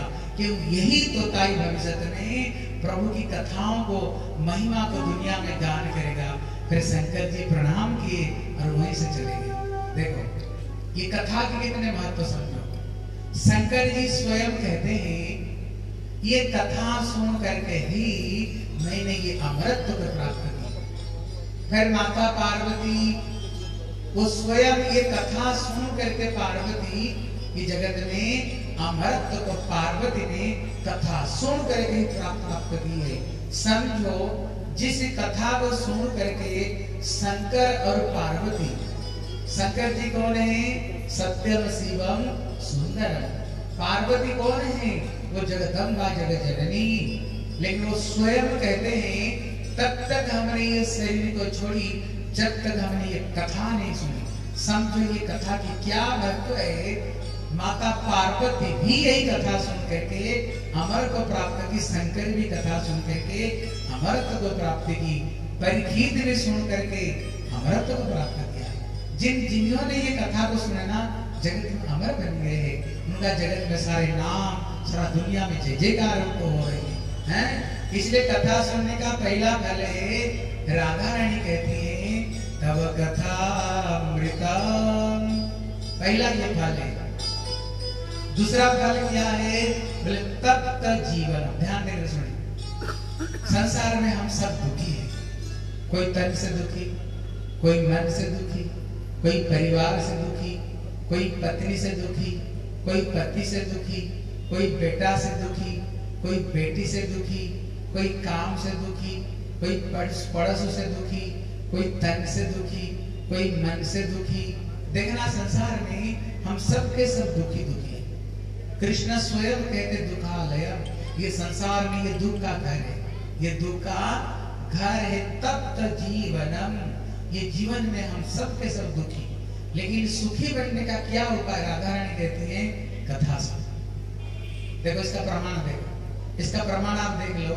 जैसे यहाँ पर हम बैठ कर कथा सुन रहे हैं। हम सब ना किसी ना किसी तरह से दुखी है। आप देखना, जैसे दो घंटा, तीन घंटा यहाँ बैठेंगे ना जब तक आप यहाँ बैठे रहोगे, आपका कोई भी दुख आपको स्पर्श नहीं कर सकता है। आपको कोई घर की दुख याद आपकी बताओ। बताओ घर की कोई दुख आपको याद है? कोई घर की? लेकिन कथा से केवल पैडल से बाहर जाओ, संसार का सारे दुख पहाड़ बन करके सर पर बैठ जाए केवल कथा से बाहर निकालो। लेकिन जब तक ये कथा में आप बैठे हुए हो, कथा में नहीं, हम बांके बिहारी की गोद में बैठे। ठाकुर जी गोद में बैठे हुए हो। कथा नहीं, कथा में साक्षात भगवान के निवास है। हैं? भगवान कथा में भगवान के निवास है। इसलिए कहते जो कथा श्रवण करेगा जीवन का सारे दुख उसको दूर हो जाएगा। बोले तीसरा लाभ किया? बोले कलमसा अभाव कथा श्रवण करने से जीवन का जितने पाप है, बोले, दुख कष्ट क्यों मिलता है? बोले, प्रारब्ध। ये पूर्व जन्म का कर्म का फल है। लेकिन ये भगवत कथा ऐसी की चीज़ है जो हमारी पूर्व जन्म का सारे पाप को नष्ट कर देता है। और कोई नहीं नष्ट कर सकता है। हरि बोल। भगवत कथा ही सारे पाप को नष्ट करता है। बोले, चौथा लाभ क्या है? बोले, श्रवण मंगल। जो कथा सुनेगा उसका जीवन में मंगल मंगल नहीं होगा। इसलिए कहते हैं ना, मंगल भवन अमंगल हरि ठाकुर जी कथा। देखो, आपकी एक छोटी सी कथा सुनाता हूँ। ध्यान देकर सुनो। ये वाल्मीकि रामायण में, ये वाल्मीकि राम कथा लिखने से पहले ये कथा को सुनाते हैं। आपको पता पता नहीं, कथा पता क्या होता कुछ पता नहीं आपको। लेकिन अनजान में आकर कथा में बैठे इसका कितना महत्व देखो, ये वाल्मीकि स्वयं कहते हैं। बोले, एक समय ये पृथ्वी में एक राजा हुए, जिसका नाम सुमति और सत्यवती, उनकी पत्नी के नाम लेकिन देश का राजा रानी ध्यान देकर इसमें कथा को ये भगवत भक्ति, भगवत भजन और ठाकुर को सेवा की क्या महत्व है, ये कथा में पता चलता है। वो देश का राजा और रानी होते हुए भी घर में राम दरबार है। अपना हाथों से दोनों पति पत्नी सेवा करते थे। अपना हाथों से मंदिर साफ़ करते थे। अपना हाथों से ठाकुर को माला पहनाया करते थे। ठाकुर जी के लिए खाना बनाते, ठाकुर जी को भोग लगाते थे। अगर जब ज़्यादा समय मिलता था, राजा रानी बैठ करके, राजा वाल्मीकि रामायण पढ़ता था, रानी सामने बैठकर कथा सुनती थी। और और थोड़ा ज़्यादा समय मिल जाए, दोनों पति पत्नी बैठ करके माला ले लेते थे। और माला लेकर के भगवान की नाम जप करते थे। बोले, रघुपति राघव, राजा राम पति पावन सीताराम दोनों बैठ करके पति पत्नी ठाकुर का नाम जप करते थे एक दिन एक ऋषि थे जिनका नाम था विभान ऋषि। विभान ऋषि ने इसको देख करके बड़े आश्चर्य पड़। गए बोले, क्यों? अगर हमारे पास में ज़्यादा पैसा हो, अगर भले ही एक मंत्री बना देगा देखना कुछ सेवा पूजा नहीं करेगा, वो किसी नौकर को रख लेगा, स्वयं घूमेगा, फिरेगा लेकिन नौकरों से सेवा करवाएगा, लेकिन अपना हाथों से सेवा नहीं करेगा। लेकिन देश का राजा, रानी होकर के अपना हाथों से ठाकुर जी की सारी सेवा, एक संत जीवन में भी ऐसे नहीं दिखता है, जो 24 घंटा में 24 घंटा प्रभु की कथा, कीर्तन, भजन में डूबे, ये सहज में नहीं मिलता है। उनको तो बड़ा आश्चर्य लगा। तो वो संत ने प्रश्न करते हैं, राजा को राजा, ये बताओ, तुम्हारे जीवन में इतने परिवर्तन कैसे आया? छब्बीस घंटा में दोनों पति पत्नी, राजा, रानी, ठाकुर का कीर्तन, भजन पूजा में डूबे कैसे? वो कहता है, बोले, बाबा, अभी तक ये रहस्य मैंने किसी को नहीं बताया। मैंने छुपा करके रखा, बोले, क्यों? शास्त्र कहता है, अपना भजन की बात सबको मत कहा। जैसे ठाकुर जी की कोई बढ़िया स्वप्न देखा, सबको मत कहा करो। जो समझेगा उसको बोलो। हृदय की बात जो समझेगा, तुम्हें जो भक्ति में बढ़ाएगा। अगर नास्तिक व्यक्ति को बोलोगे, अरे, हम ठाकुर जी को बड़ी प्यारी स्वप्न देखा, गोपाल जी को खिला रही थी, लाड लड़ा रही थी, वो तुम्हारी भावना नहीं समझेगा। ले सब बेकार बात है। फिर क्या होगा, तुम्हारी भक्ति घटेगी बढ़ेगी नहीं। इसलिए मैंने अपना भजन की बात सबको मत कहा करो। जो समझेगा उसको तुम्हारी हृदय की बात बताओ। तो उसने कहा, संत जी बाबा, आप तो संतो हो। इसलिए आपको मैं पहला बार आपको बता रहा हूँ, मैं जाति स्वर हूँ। बोले, जाति स्वर का मतलब क्या? बोले, जिनको पूर्व जन्म की बात याद हो। मेरे चार जन्म की बात मेरी याद चार जन्म की। बोले हाँ बोले, बताओ। बोले, चार जन्म से पहले मेरा नाम था मालती। बड़ा दुष्ट बदमाश था। ऐसे कोई पाप नहीं मैंने जो नहीं किया। चोरी, गुंडागर्दी, शराब पीना, मांस खाना, डाकू डालना, हर तरह का मैंने पाप की मेरे परिवार लोग मेरे को दुखी होकर घर से निकाल दिया। मेरी जो पत्नी, इसका नाम थी काली। इसने तो अपना पति को ही हत्या कर दी थी। इसकी परिवार भी इसको घर से निकाल दिए हम दोनों जंगल में भटकते भटकते एक दूसरे से मिले। देखा, अकेला जीवन बीत नहीं रहा है, दोनों एक कट रहे। जानवर को मार करके मांस से जीवन पालन करते थे। लेकिन दोनों जब अत्यधिक वृद्ध हो गए, हमसे आहार संग्रह नहीं हो पा रहा था। बड़ा कठिनी से जीवन बिता रहे थे। हमारी जहाँ रहते थे, उसके पास में श्री वशिष्ठ जी का आश्रम था। एक दिन देखा, कुछ लोगों को वहाँ पर एकत्रित होते हुए। हमने सोचा, भैया, आज इतने लोग यहाँ पर क्यों, क्या हो रहे हम दोनों पति पत्नी गए।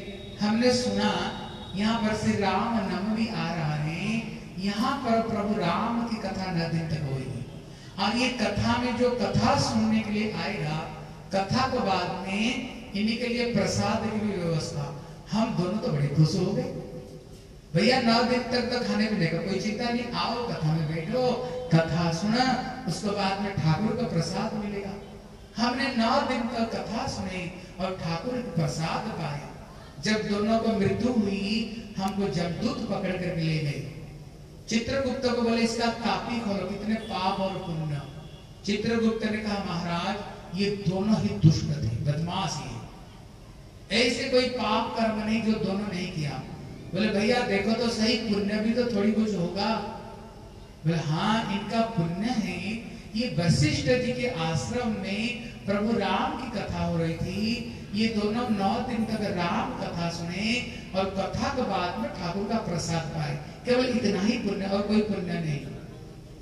जब महाराज इतना सुनते ही, बोले, वशिष्ठ जी के आश्रम पे प्रभु राम की कथा और प्रभु राम की प्रसाद, इतने बड़ा पुण्य किया। बोले, सारे पाप को हमने सामने काट दिया। सारे पाप को उसने काट दिया। बोले, ये दोनों को रमा वैकुंठ भेज दिया जाए सौ साल के लिए हम दोनों ने सौ साल के लिए इतने ऐश्वर्य इतने ऐश्वर्य भोग किया जो आपको वर्णना नहीं कर सकते हैं। उसको बाद में ब्रह्मलोक में सौ साल के लिए आए। वहाँ पर भी अथा ऐश्वर्य भोग की। उसको बाद में फिर स्वर्ग में इंद्र इंद्राणी बन करके सौ साल तक रहे। स्वर्ग का सारे सुख भोग किया। अभी भारत का राजा है। आप तो हमारे ठाड़ को देख रहे हो। कितना ऐश्वर्य हम कैसे ज़िंदा रह रहे अगर अनजान में प्रभु की कथा और प्रभु की प्रसाद पा करके अगर इतने पुण्य हो सकता है, हम दोनों पति पत्नी समय को नष्ट नहीं करके 24 घंटा प्रभु की कथा, प्रभु की सेवा, प्रभु की नाम, प्रभु का कीर्तन अपना जीवन बिता रहे ये वाल्मीकि ये बात को कह रहे हैं, रामायण लिखने से पहले।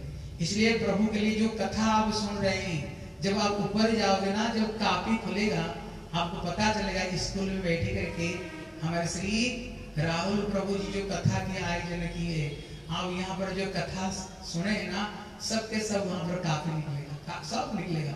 लेकिन दुनिया में और जो कुछ किया कुछ नहीं निकलेगा। इसलिए देखना, मरते समय क्या बोलते हैं? राम नाम सत्य है, गोपाल नाम सत्य है, सत्य बोल गत्य है, सब कोई बात झूठा है। अंतिम समय में यही सुनाते सुनाते जाएँगे, बेटा, जितने प्रभु का भजन किया है ना केवल वही जा रहे और जो कुछ किया है, तुमने झूठे में बिताया। एक सुई धागा भी तुम्हारे साथ में नहीं जाएगी। पत्नी जाएगी तो रो रो कर दरवाज़ा तक जाएगी। परिवार जाएँगे तो शमशान तक। उसको सामने कुछ भी काम देने वाले नहीं। इसलिए मीरा जी कहती हैं, पायो जी, मैंने राम रतन धन पायो। पायो जी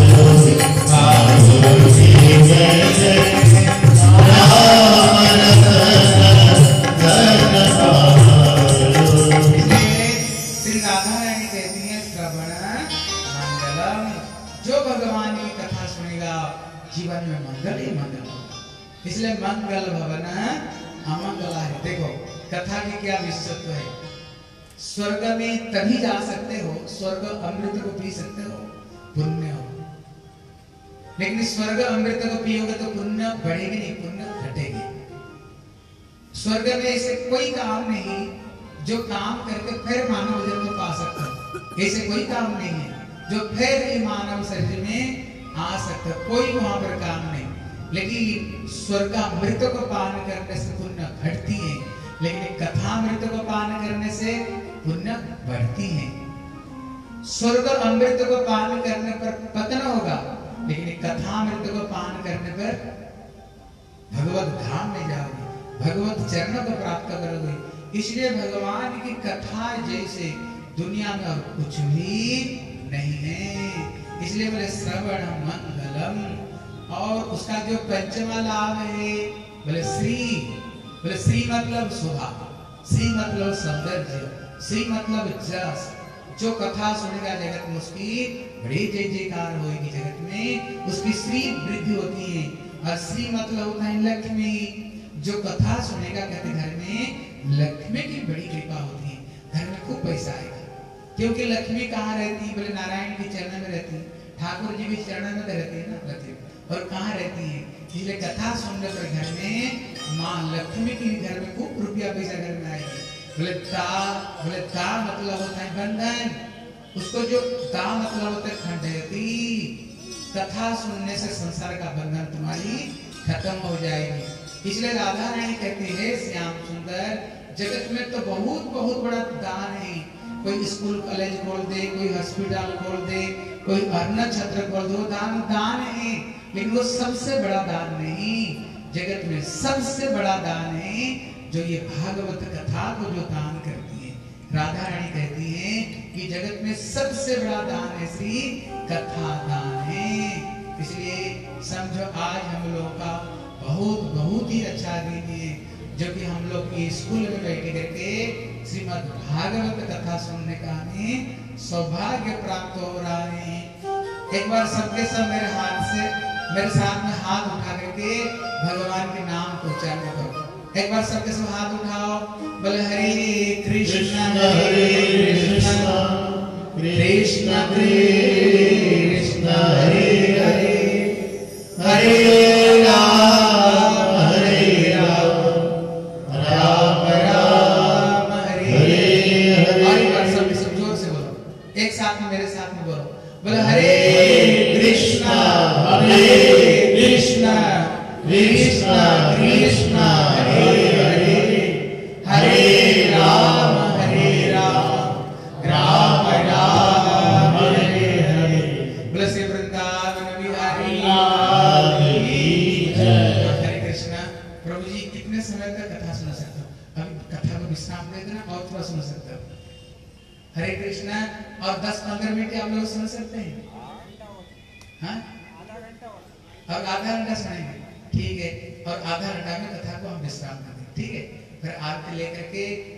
कल से कितने बजे से कथा प्रभु जी? तीन बजे से। हाँ? तीन तीन बजे से। तीन बजे से?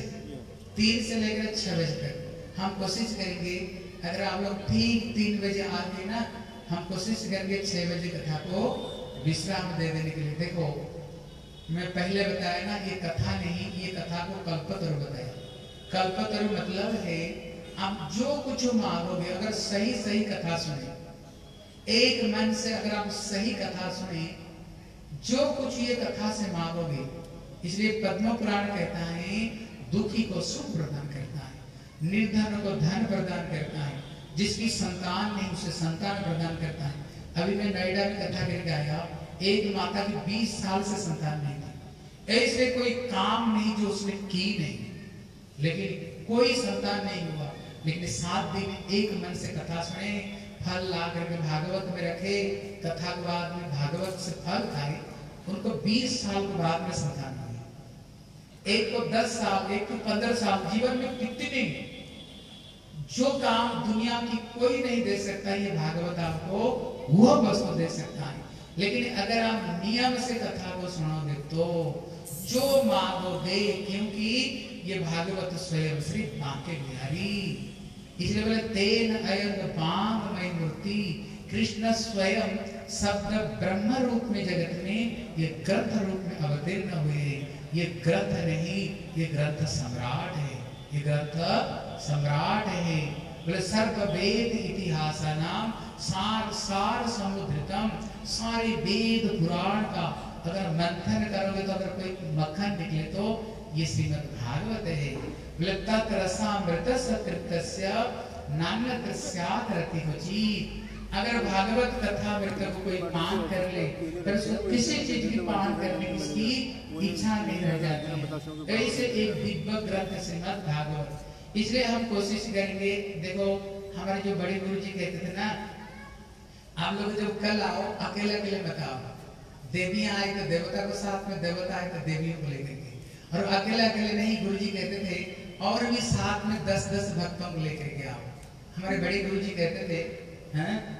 हमारे बड़े गुरु जी कहते थे, आप जिसको साथ में लेकर के आओगे, उसको जो पुण्य मिलेगी, उसका आधा पुण्य जो लाने वाला को मिलेगा। अगर दस व्यक्ति को लाओगे ना, उसका आधा आधा पुण्य कितना हो गया बहुत हो गया ना। इसलिए जिसको लाओगे जैसे अगर किसको शराब पिला उसको पाप तुम्हें लगेगा।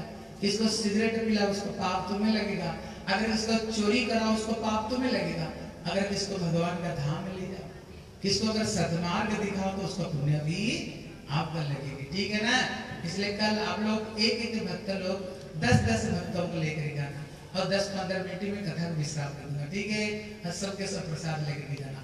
कहती है भागवत कथा की जो महिमा दो ग्रंथ में आती है, एक पद्म पुराण में और एक स्कंध पुराण में। दो पुराण में इसकी महिमा आती है। इसलिए श्री सुखदेव गोस्वामी जिस समय से परीक्षित को कथा सुनाए, कथा समाप्ति में गोलोक वृंदावन से रथ आया। और श्री परीक्षित महाराज सीधा बैठी करके भूर भूव मोह जन तपसत्य लोग को पार करते हुए सीधा भगवत धाम को। ब्रह्मा जी को बड़ा आश्चर्य लगा। इन्होंने कथा सुनते सुनते भगवत प्राप्ति एक तराजू लाया। तराजू का एक तरफ़ में जगत का जितने सत्कर्म है तीर्थाटन दान पुण्य जितने सत्कर्मों को तराजू का एक तरफ़ में रख दिए तराजू का दूसरे तरफ़ में केवल भागवत का पुण्य को रख दिया देखा, जिधर ये भागवत कथा को पुण्य को रखा, वो पत्थर के पत्थर जैसे जमा रहा। दूसरे तरफ़ में जितने सत्कर्म था, वो हल्का होकर के ऊपर उठ गया। ब्रह्मा जी को पता चला, ये भागवत कथा को सामने जगत का कोई भी आप पुण्य को आप कभी बराबर नहीं कर सकते हो। इसलिए ब्रह्मा स्वयं महाजन है। उनका नारद चतुसन भी महाजन। बोले, देखो, आज से ब्रह्म लोक में नित्य निरंतर प्रभु की कथा चलनी चाहिए। कहते जद्यपि श्री नारद जी सर्वप्रथम चतुसन से ब्रह्मा जी से कथा सुने थे लेकिन नीति नियम से विधान के साथ उन्होंने चतुसन से कथा सुने। तो सोनो का लोग प्रश्न करते बोले, क्यों? तो उसका कारण बताए, श्री नारद जी, एक समय ये मर्त्य जगत में आए। क्यों? ये मर्त्य जगत पुण्य भूमि है। अब विशेष करके जो भारत है, ये तो बहुत बहुत ही पुण्य भूमि। भगवान के सारे अवतार भारत में। जितने अयोध्या, मथुरा, माया, काशी, कांची अवतिया भारत में, केदारनाथ, बद्रीनाथ, गंगोत्री जमुनोत्री कहाँ पर है? सब भारत में। जितने महापुरुष को देखोगे ये भारत में सबके सब अवतीर्ण हुए ये भारत पुण्य भूमि है। लेकिन उन्होंने सर्वत्र भ्रमण करके देखा, कल ये सब जगह में अपना विस्तार करके बैठा हुआ। सोचा वृंदावन चलते हैं। जब जमुना किनारे में आए, इन्होंने श्री भक्ति देवी और उनको दो बेटे ज्ञान वैराग को अचेतन अवस्था में दर्शन किया। बोले, ऐसे कैसे हो गया? तो उसका कारण बताए।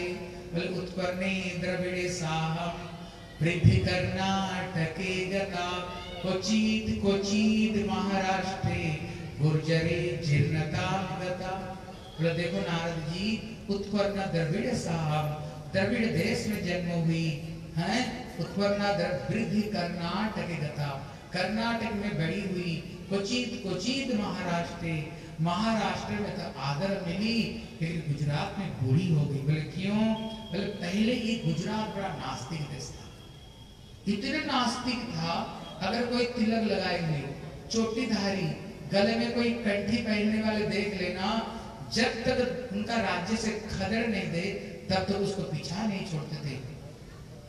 लेकिन आप अभी गुजरात में जाओ, पृथ्वी में सबसे ज़्यादा अगर धनी माने, पृथ्वी में सबसे ज़्यादा कोई भक्ति करने वाला मिलेगा, आप गुजरात में मिलेगा।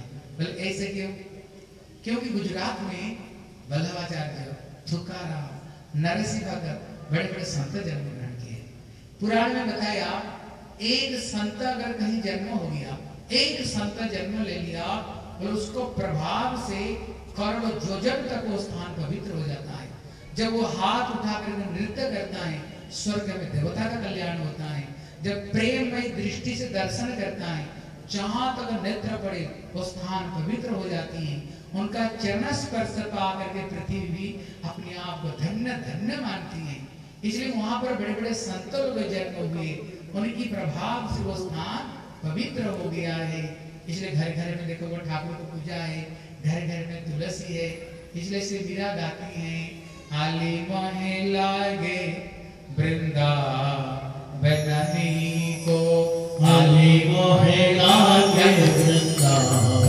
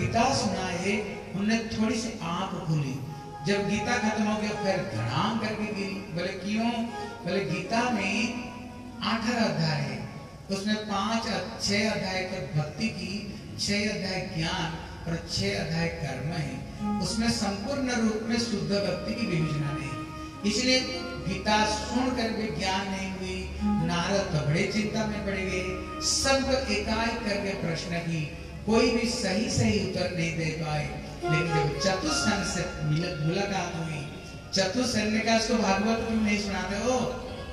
तुम्हारी याद नहीं, जब तुमने सारे ग्रंथों को लिख करके शांति नहीं मिली। नारद जी, हैं? तुमने तो बताया था, व्यास देव को भागवत कथा लिखो। बोले हाँ। बोले, भागवत कथा सुनाओ। बोले, कहाँ सुनाए? बोले, हरिद्वार में सुनाओ। बोले, हरिद्वार में क्यों सुनाएँगे? बोले, वो ऐसे एक स्थान है, एक तरफ़ में उत्तरांचल, दूसरे तरफ़ में उत्तर प्रदेश है। उत्तर प्रदेश में घर गृहस्थी और उत्तरांचल में साधु संत है। ऐसे एक जगह पर कथा हो जो, जिसका लाभ सबके सब ले सके। अभी चतुसन कथा करेंगे। पहले तो वैष्णव लोग दौड़ दौड़ करके आए। क्यों? भागवत वैष्णव का ग्रंथ। फिर ब्रह्म लोग से, देव लोक से, जितने ऋषि, मुनि, देवता, गंगा जमुना सरस्वती, मूर्तिमान रूप में वहाँ के आए। लेकिन जिन जिन्होंने नहीं आए, अगस्त घर घर में गए, बोले, तुमने सुना कि नहीं? चतुसन हरिद्वार में भागवत कथा कर रहे हैं। बड़ी भाग्यवान को कथा सुनने को मिलती है। चलो, सबके सब कथा सुनने के लिए चलो। मतलब विश्व ब्रह्मांड कथा सुनने के लिए वहाँ पर आए। जब चतुर्सन कथा श्रवण कराने जा रहे थे, वहाँ पर ज्ञान वैराग्य भी, अपना भक्ति देवी अपना माँ को साथ में वहाँ पर आ गए जब चतुसन कथा करने जा रहे थे, स्वर्ग में सारे देवता लोग पुष्प की बौछार की घंटा शंख बजाए भागवत का जयकार किए। कथा ठीक से नहीं है देखो, जब कथा होना स्वर्ग से देवता लोग भी प्रसन्न होते हैं। क्यों? बोले ये भागवत कथा हो रही है। बड़ी सौभाग्य से कहीं ये कथा सुनने को मिलती है। देवता लोग प्रसन्न होकर उसमें जयकार देते हैं। इतने कथा की महत्व है। इसलिए और एक बार से जयकार दो। बोले, श्रीमद् भागवत कथा मृतम की इतने में जब चतुसन ने ये भागवत कथा की, ये कथा की इतने महिमा देखो। सुत गोस्वामी क्या कहते हैं? बोले, सर्वाणि तीर्थानि वसंति तत्र जथा चुतागर कथा प्रसंग देखो, ये बहुत बड़ी बात बता रहे हैं।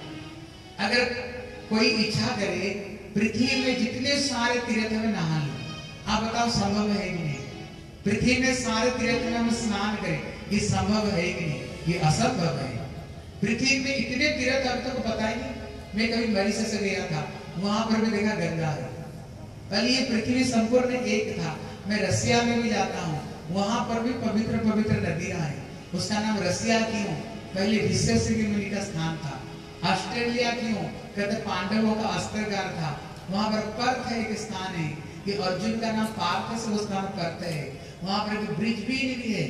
हैं? इसलिए करोड़ रुपया खर्च करोगे ना, तभी सारे तीर्थ में नहा नहीं सकते। लेकिन यहाँ पर सुतो गोस्वामी कहते हैं, ऐसे कौन सा उपाय है जो कि हम एक साथ में बैठी बैठी करके सारे तीर्थ में नहा लेंगे? ऐसे कौन सा उपाय है? बोले, सर्वाणी तीर्थानी बसंती तथा पृथ्वी का सारे तीर्थ वहीं पर है जथा चुतादर कथा प्रसंग। जहाँ पर भागवत कथा भी गंगा में जो नहा रहे हैं समझो बैठ बैठ करके सारे तीर्थ में यही नहाए अब विश्वास होता कि नहीं। देखो एक छोटी सी कथा सुनो। बोले, एक समय कहीं कथा हो रही थी। कोई एक भावुक संत बैठे कथा सुन रहे थे। वो ज़्यादा ही भावुक थे। कथा सुनते सुनते भाव में इतने डूब गए। इतने भाव में वो डूब गए।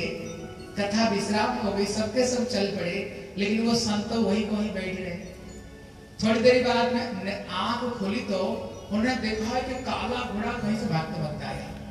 और वहीं पर लौट पोट खाते खाते एकदम सोने जैसे चमचमाने लगते। वो संत समझ गए कोई घोड़ा नहीं, ये कोई महापुरुष है। पूछे, आप कौन है? लगता है कि घोड़ा अब है ही नहीं। देखो, ये क्या कहते हैं? बोले, मैं तीर्थराज प्रयाग हूँ। कौन है? आज जो इलाहाबाद में स्नान कर रहे हैं ना, वो तीर्थराज। क्यों? गंगा जमुना, सरस्वती तीनों का मिलन है। बोले, मैं तीर्थराज प्रयाग हूँ। पहले बोले, आप पहले तो काले थे और यहाँ पर लोट पोट क्यों खाए? बोले, जितने पापी जाकर के स्नान करते हैं, वो सारे पाप वहीं पर छोड़ाते उनकी पाप की बोझ से मैं एकदम काला बन जाता हूँ। बोले, यहाँ पर क्यों लोट पोट खा रहे थे? बोले, यहाँ पर थोड़ी देर पहले भागवत कथा हो रही थी ना। बोले हाँ। बोले, जहाँ पर भागवत कथा होती है, वो स्थान अत्यंत पवित्र हो जाता है। मैं ढूंढता रहता हूँ, कहाँ कथा होती है। और वहीं पर लौट मोट उठाने पर पाप का सारे बोझ वहीं छोड़ देता हूँ। पवित्र होकर के दोबारा फिर मैं पापियों को पाप लेता हूँ, हैं? इसलिए जो कथा रूपी गंगा में नहाओगे आप लोग हरिद्वार गए हो? कौन कौन हरिद्वार गए हैं? हाथ उठाओ तो कौन कौन हरिद्वार? वहाँ हर की पौड़ी में स्नान किए हो? स्नान किए कि नहीं? अब देखना, वहाँ लिखा हुआ होता है, सावधान। अंदर में गहरा पानी है। और थोड़ी सी अगर ज़्यादा जाकर गोता लगाए ना, डूब कर चले नीचे चले जाओगे फिर उठ कर नहीं पड़ेगा आपको। इतना गहरा, इतने तेज़ी पानी बह रही है। अगर गंगा में ज़्यादा गोता लगाओगे तो मर जाओगे। लेकिन किसने कहा कथा रूपी गंगा में ज़्यादा गोता मत लगाओ। क्या कहते हैं? भैया कथा रूपी गंगा में जितना गोता लगा सकते हो, लगाओ। अगर कथा रूपी गंगा में गोता लगाओगे ना, तर जाओगे। मरोगे नहीं। कथा रूपी गंगा में गोता लगाओगे तो तर जाओगे। इतने कथा की महत्व है। इसलिए जिस समय श्री चतुसन ने ये कथा सुनाए कथा की प्रभाव से गोलोक वृंदावन से स्वयं जुगल किशोर बांके बिहारी राधा रानी प्रकट हो गई। अपना सखियों के साथ में वहाँ अर्जुन प्रकट हुए। सुखदेव गोस्वामी नारद जी, कोई पखवत बजा रहे थे, कोई बीणा बजा रहे थे। सुखदेव गोस्वामी तो बढ़िया हैं? सुखदेव गोस्वामी जैसे जैसे भजन हो रही थी, उसी भाव से थिरक थिरक करके नृत्य कर रहे थे। और ज्ञान वैराग अपना माँ को साथ में पूरा की पूरा जवानी बन करके सब के सब कीर्तन में नाच उठे। श्री कृष्ण गोविंद हरे मुरारे हे नाथ नारायण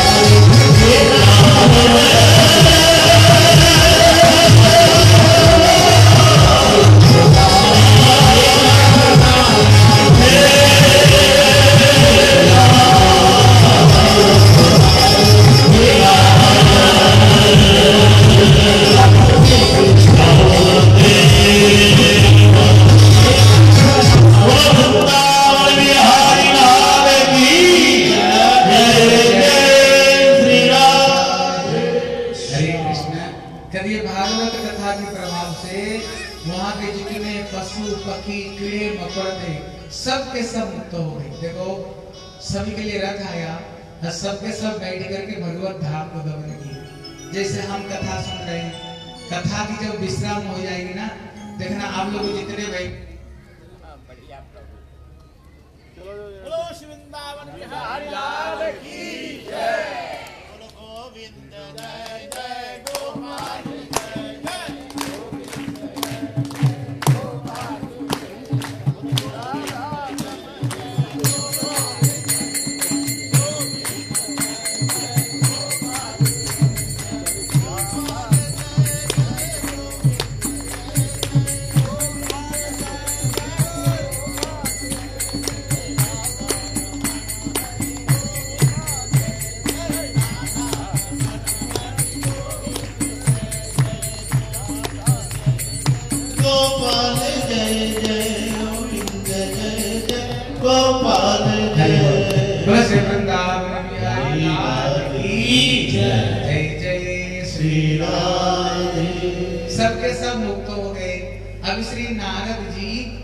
प्रश्न करते हैं, अगर कोई प्रेत जोनि में पड़ा हुआ हो, उनको उद्धार होगी कि नहीं कथा से।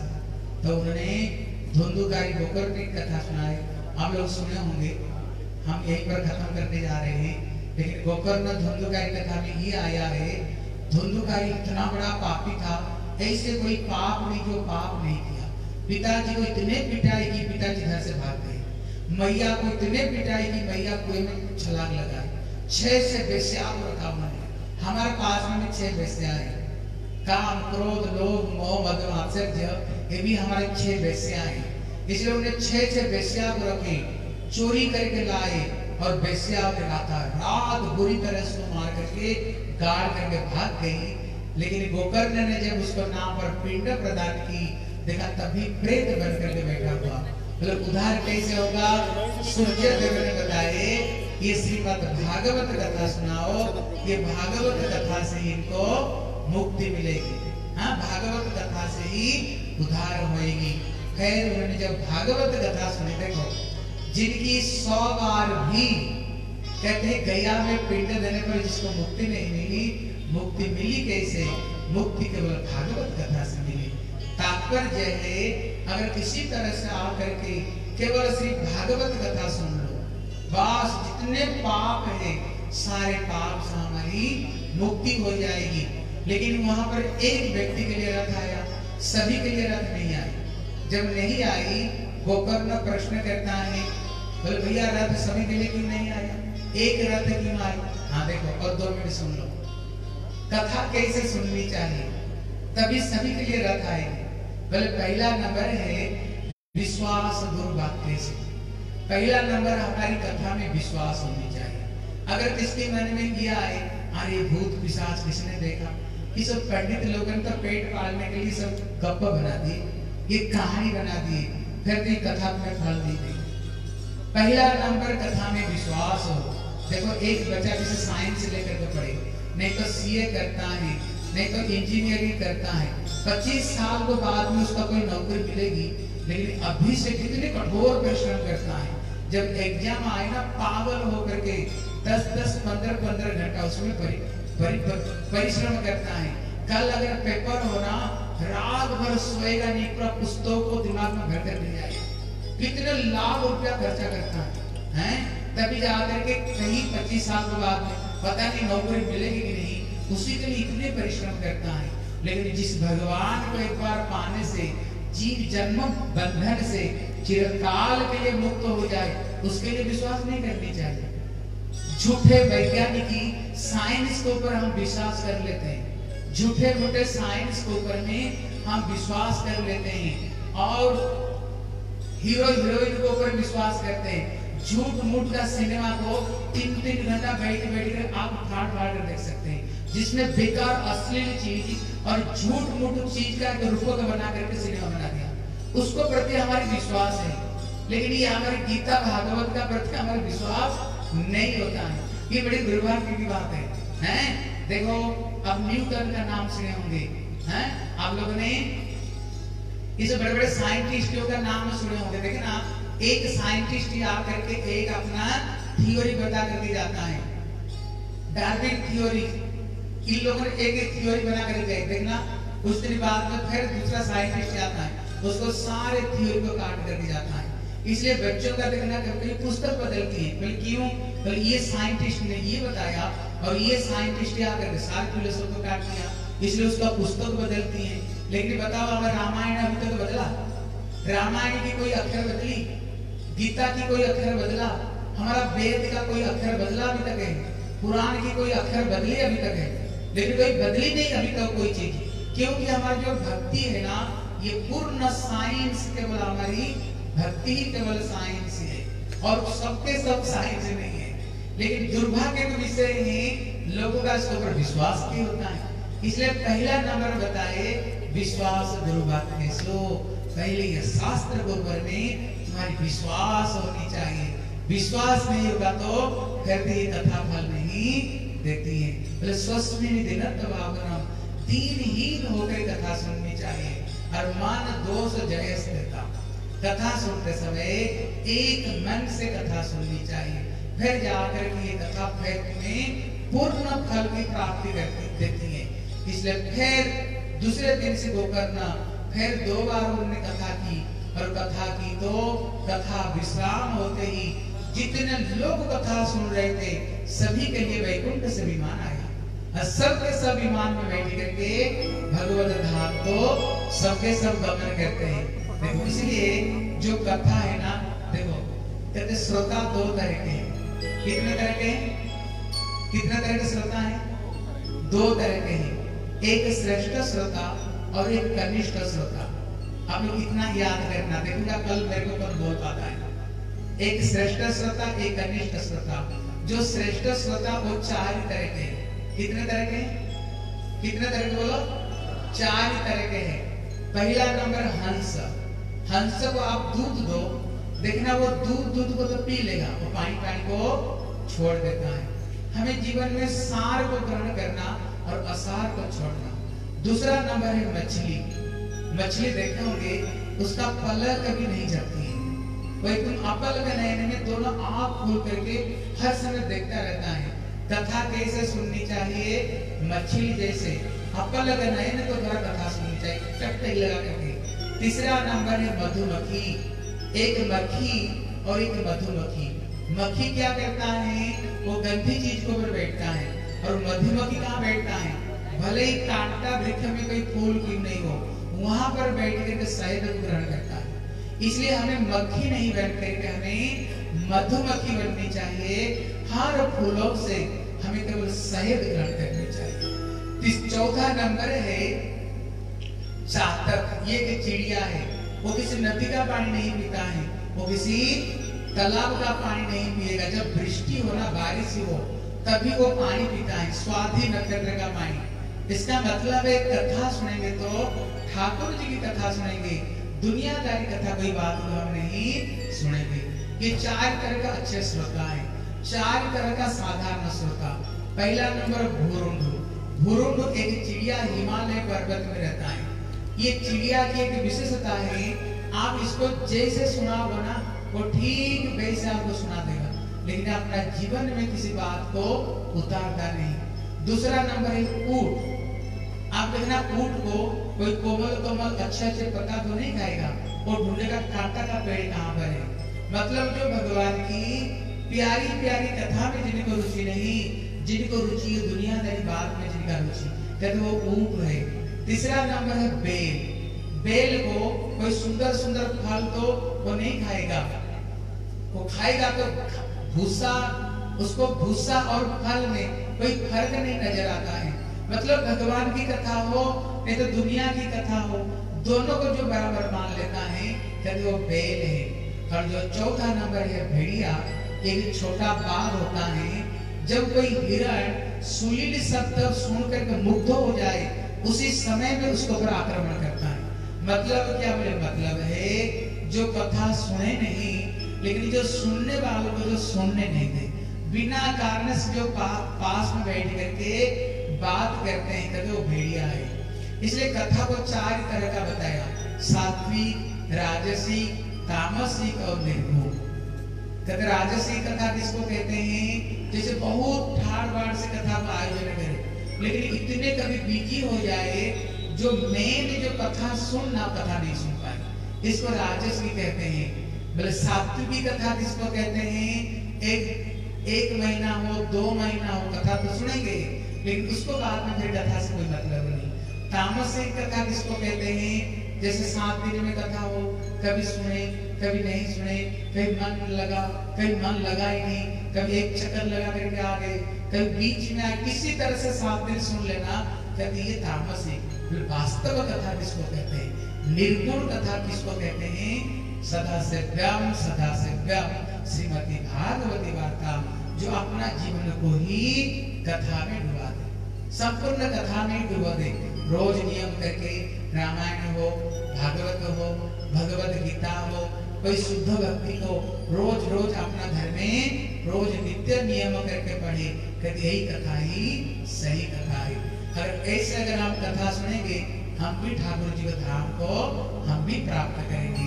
बोले श्रीमद् भागवत कथा मृतम की जय जय। श्री हाँ सबके सब खड़े हो जाओ। सब सब खड़े हो जाओ। सबके सब आगे आ सबके सब छोटी सी भजन गा लेंगे छोटी सी उसके बाद में आरती प्रसाद लेकर जाएँगे बोल वृंदावन बिहारी राम की जय जय श्री राम। हरि तैयारी हो। हाँ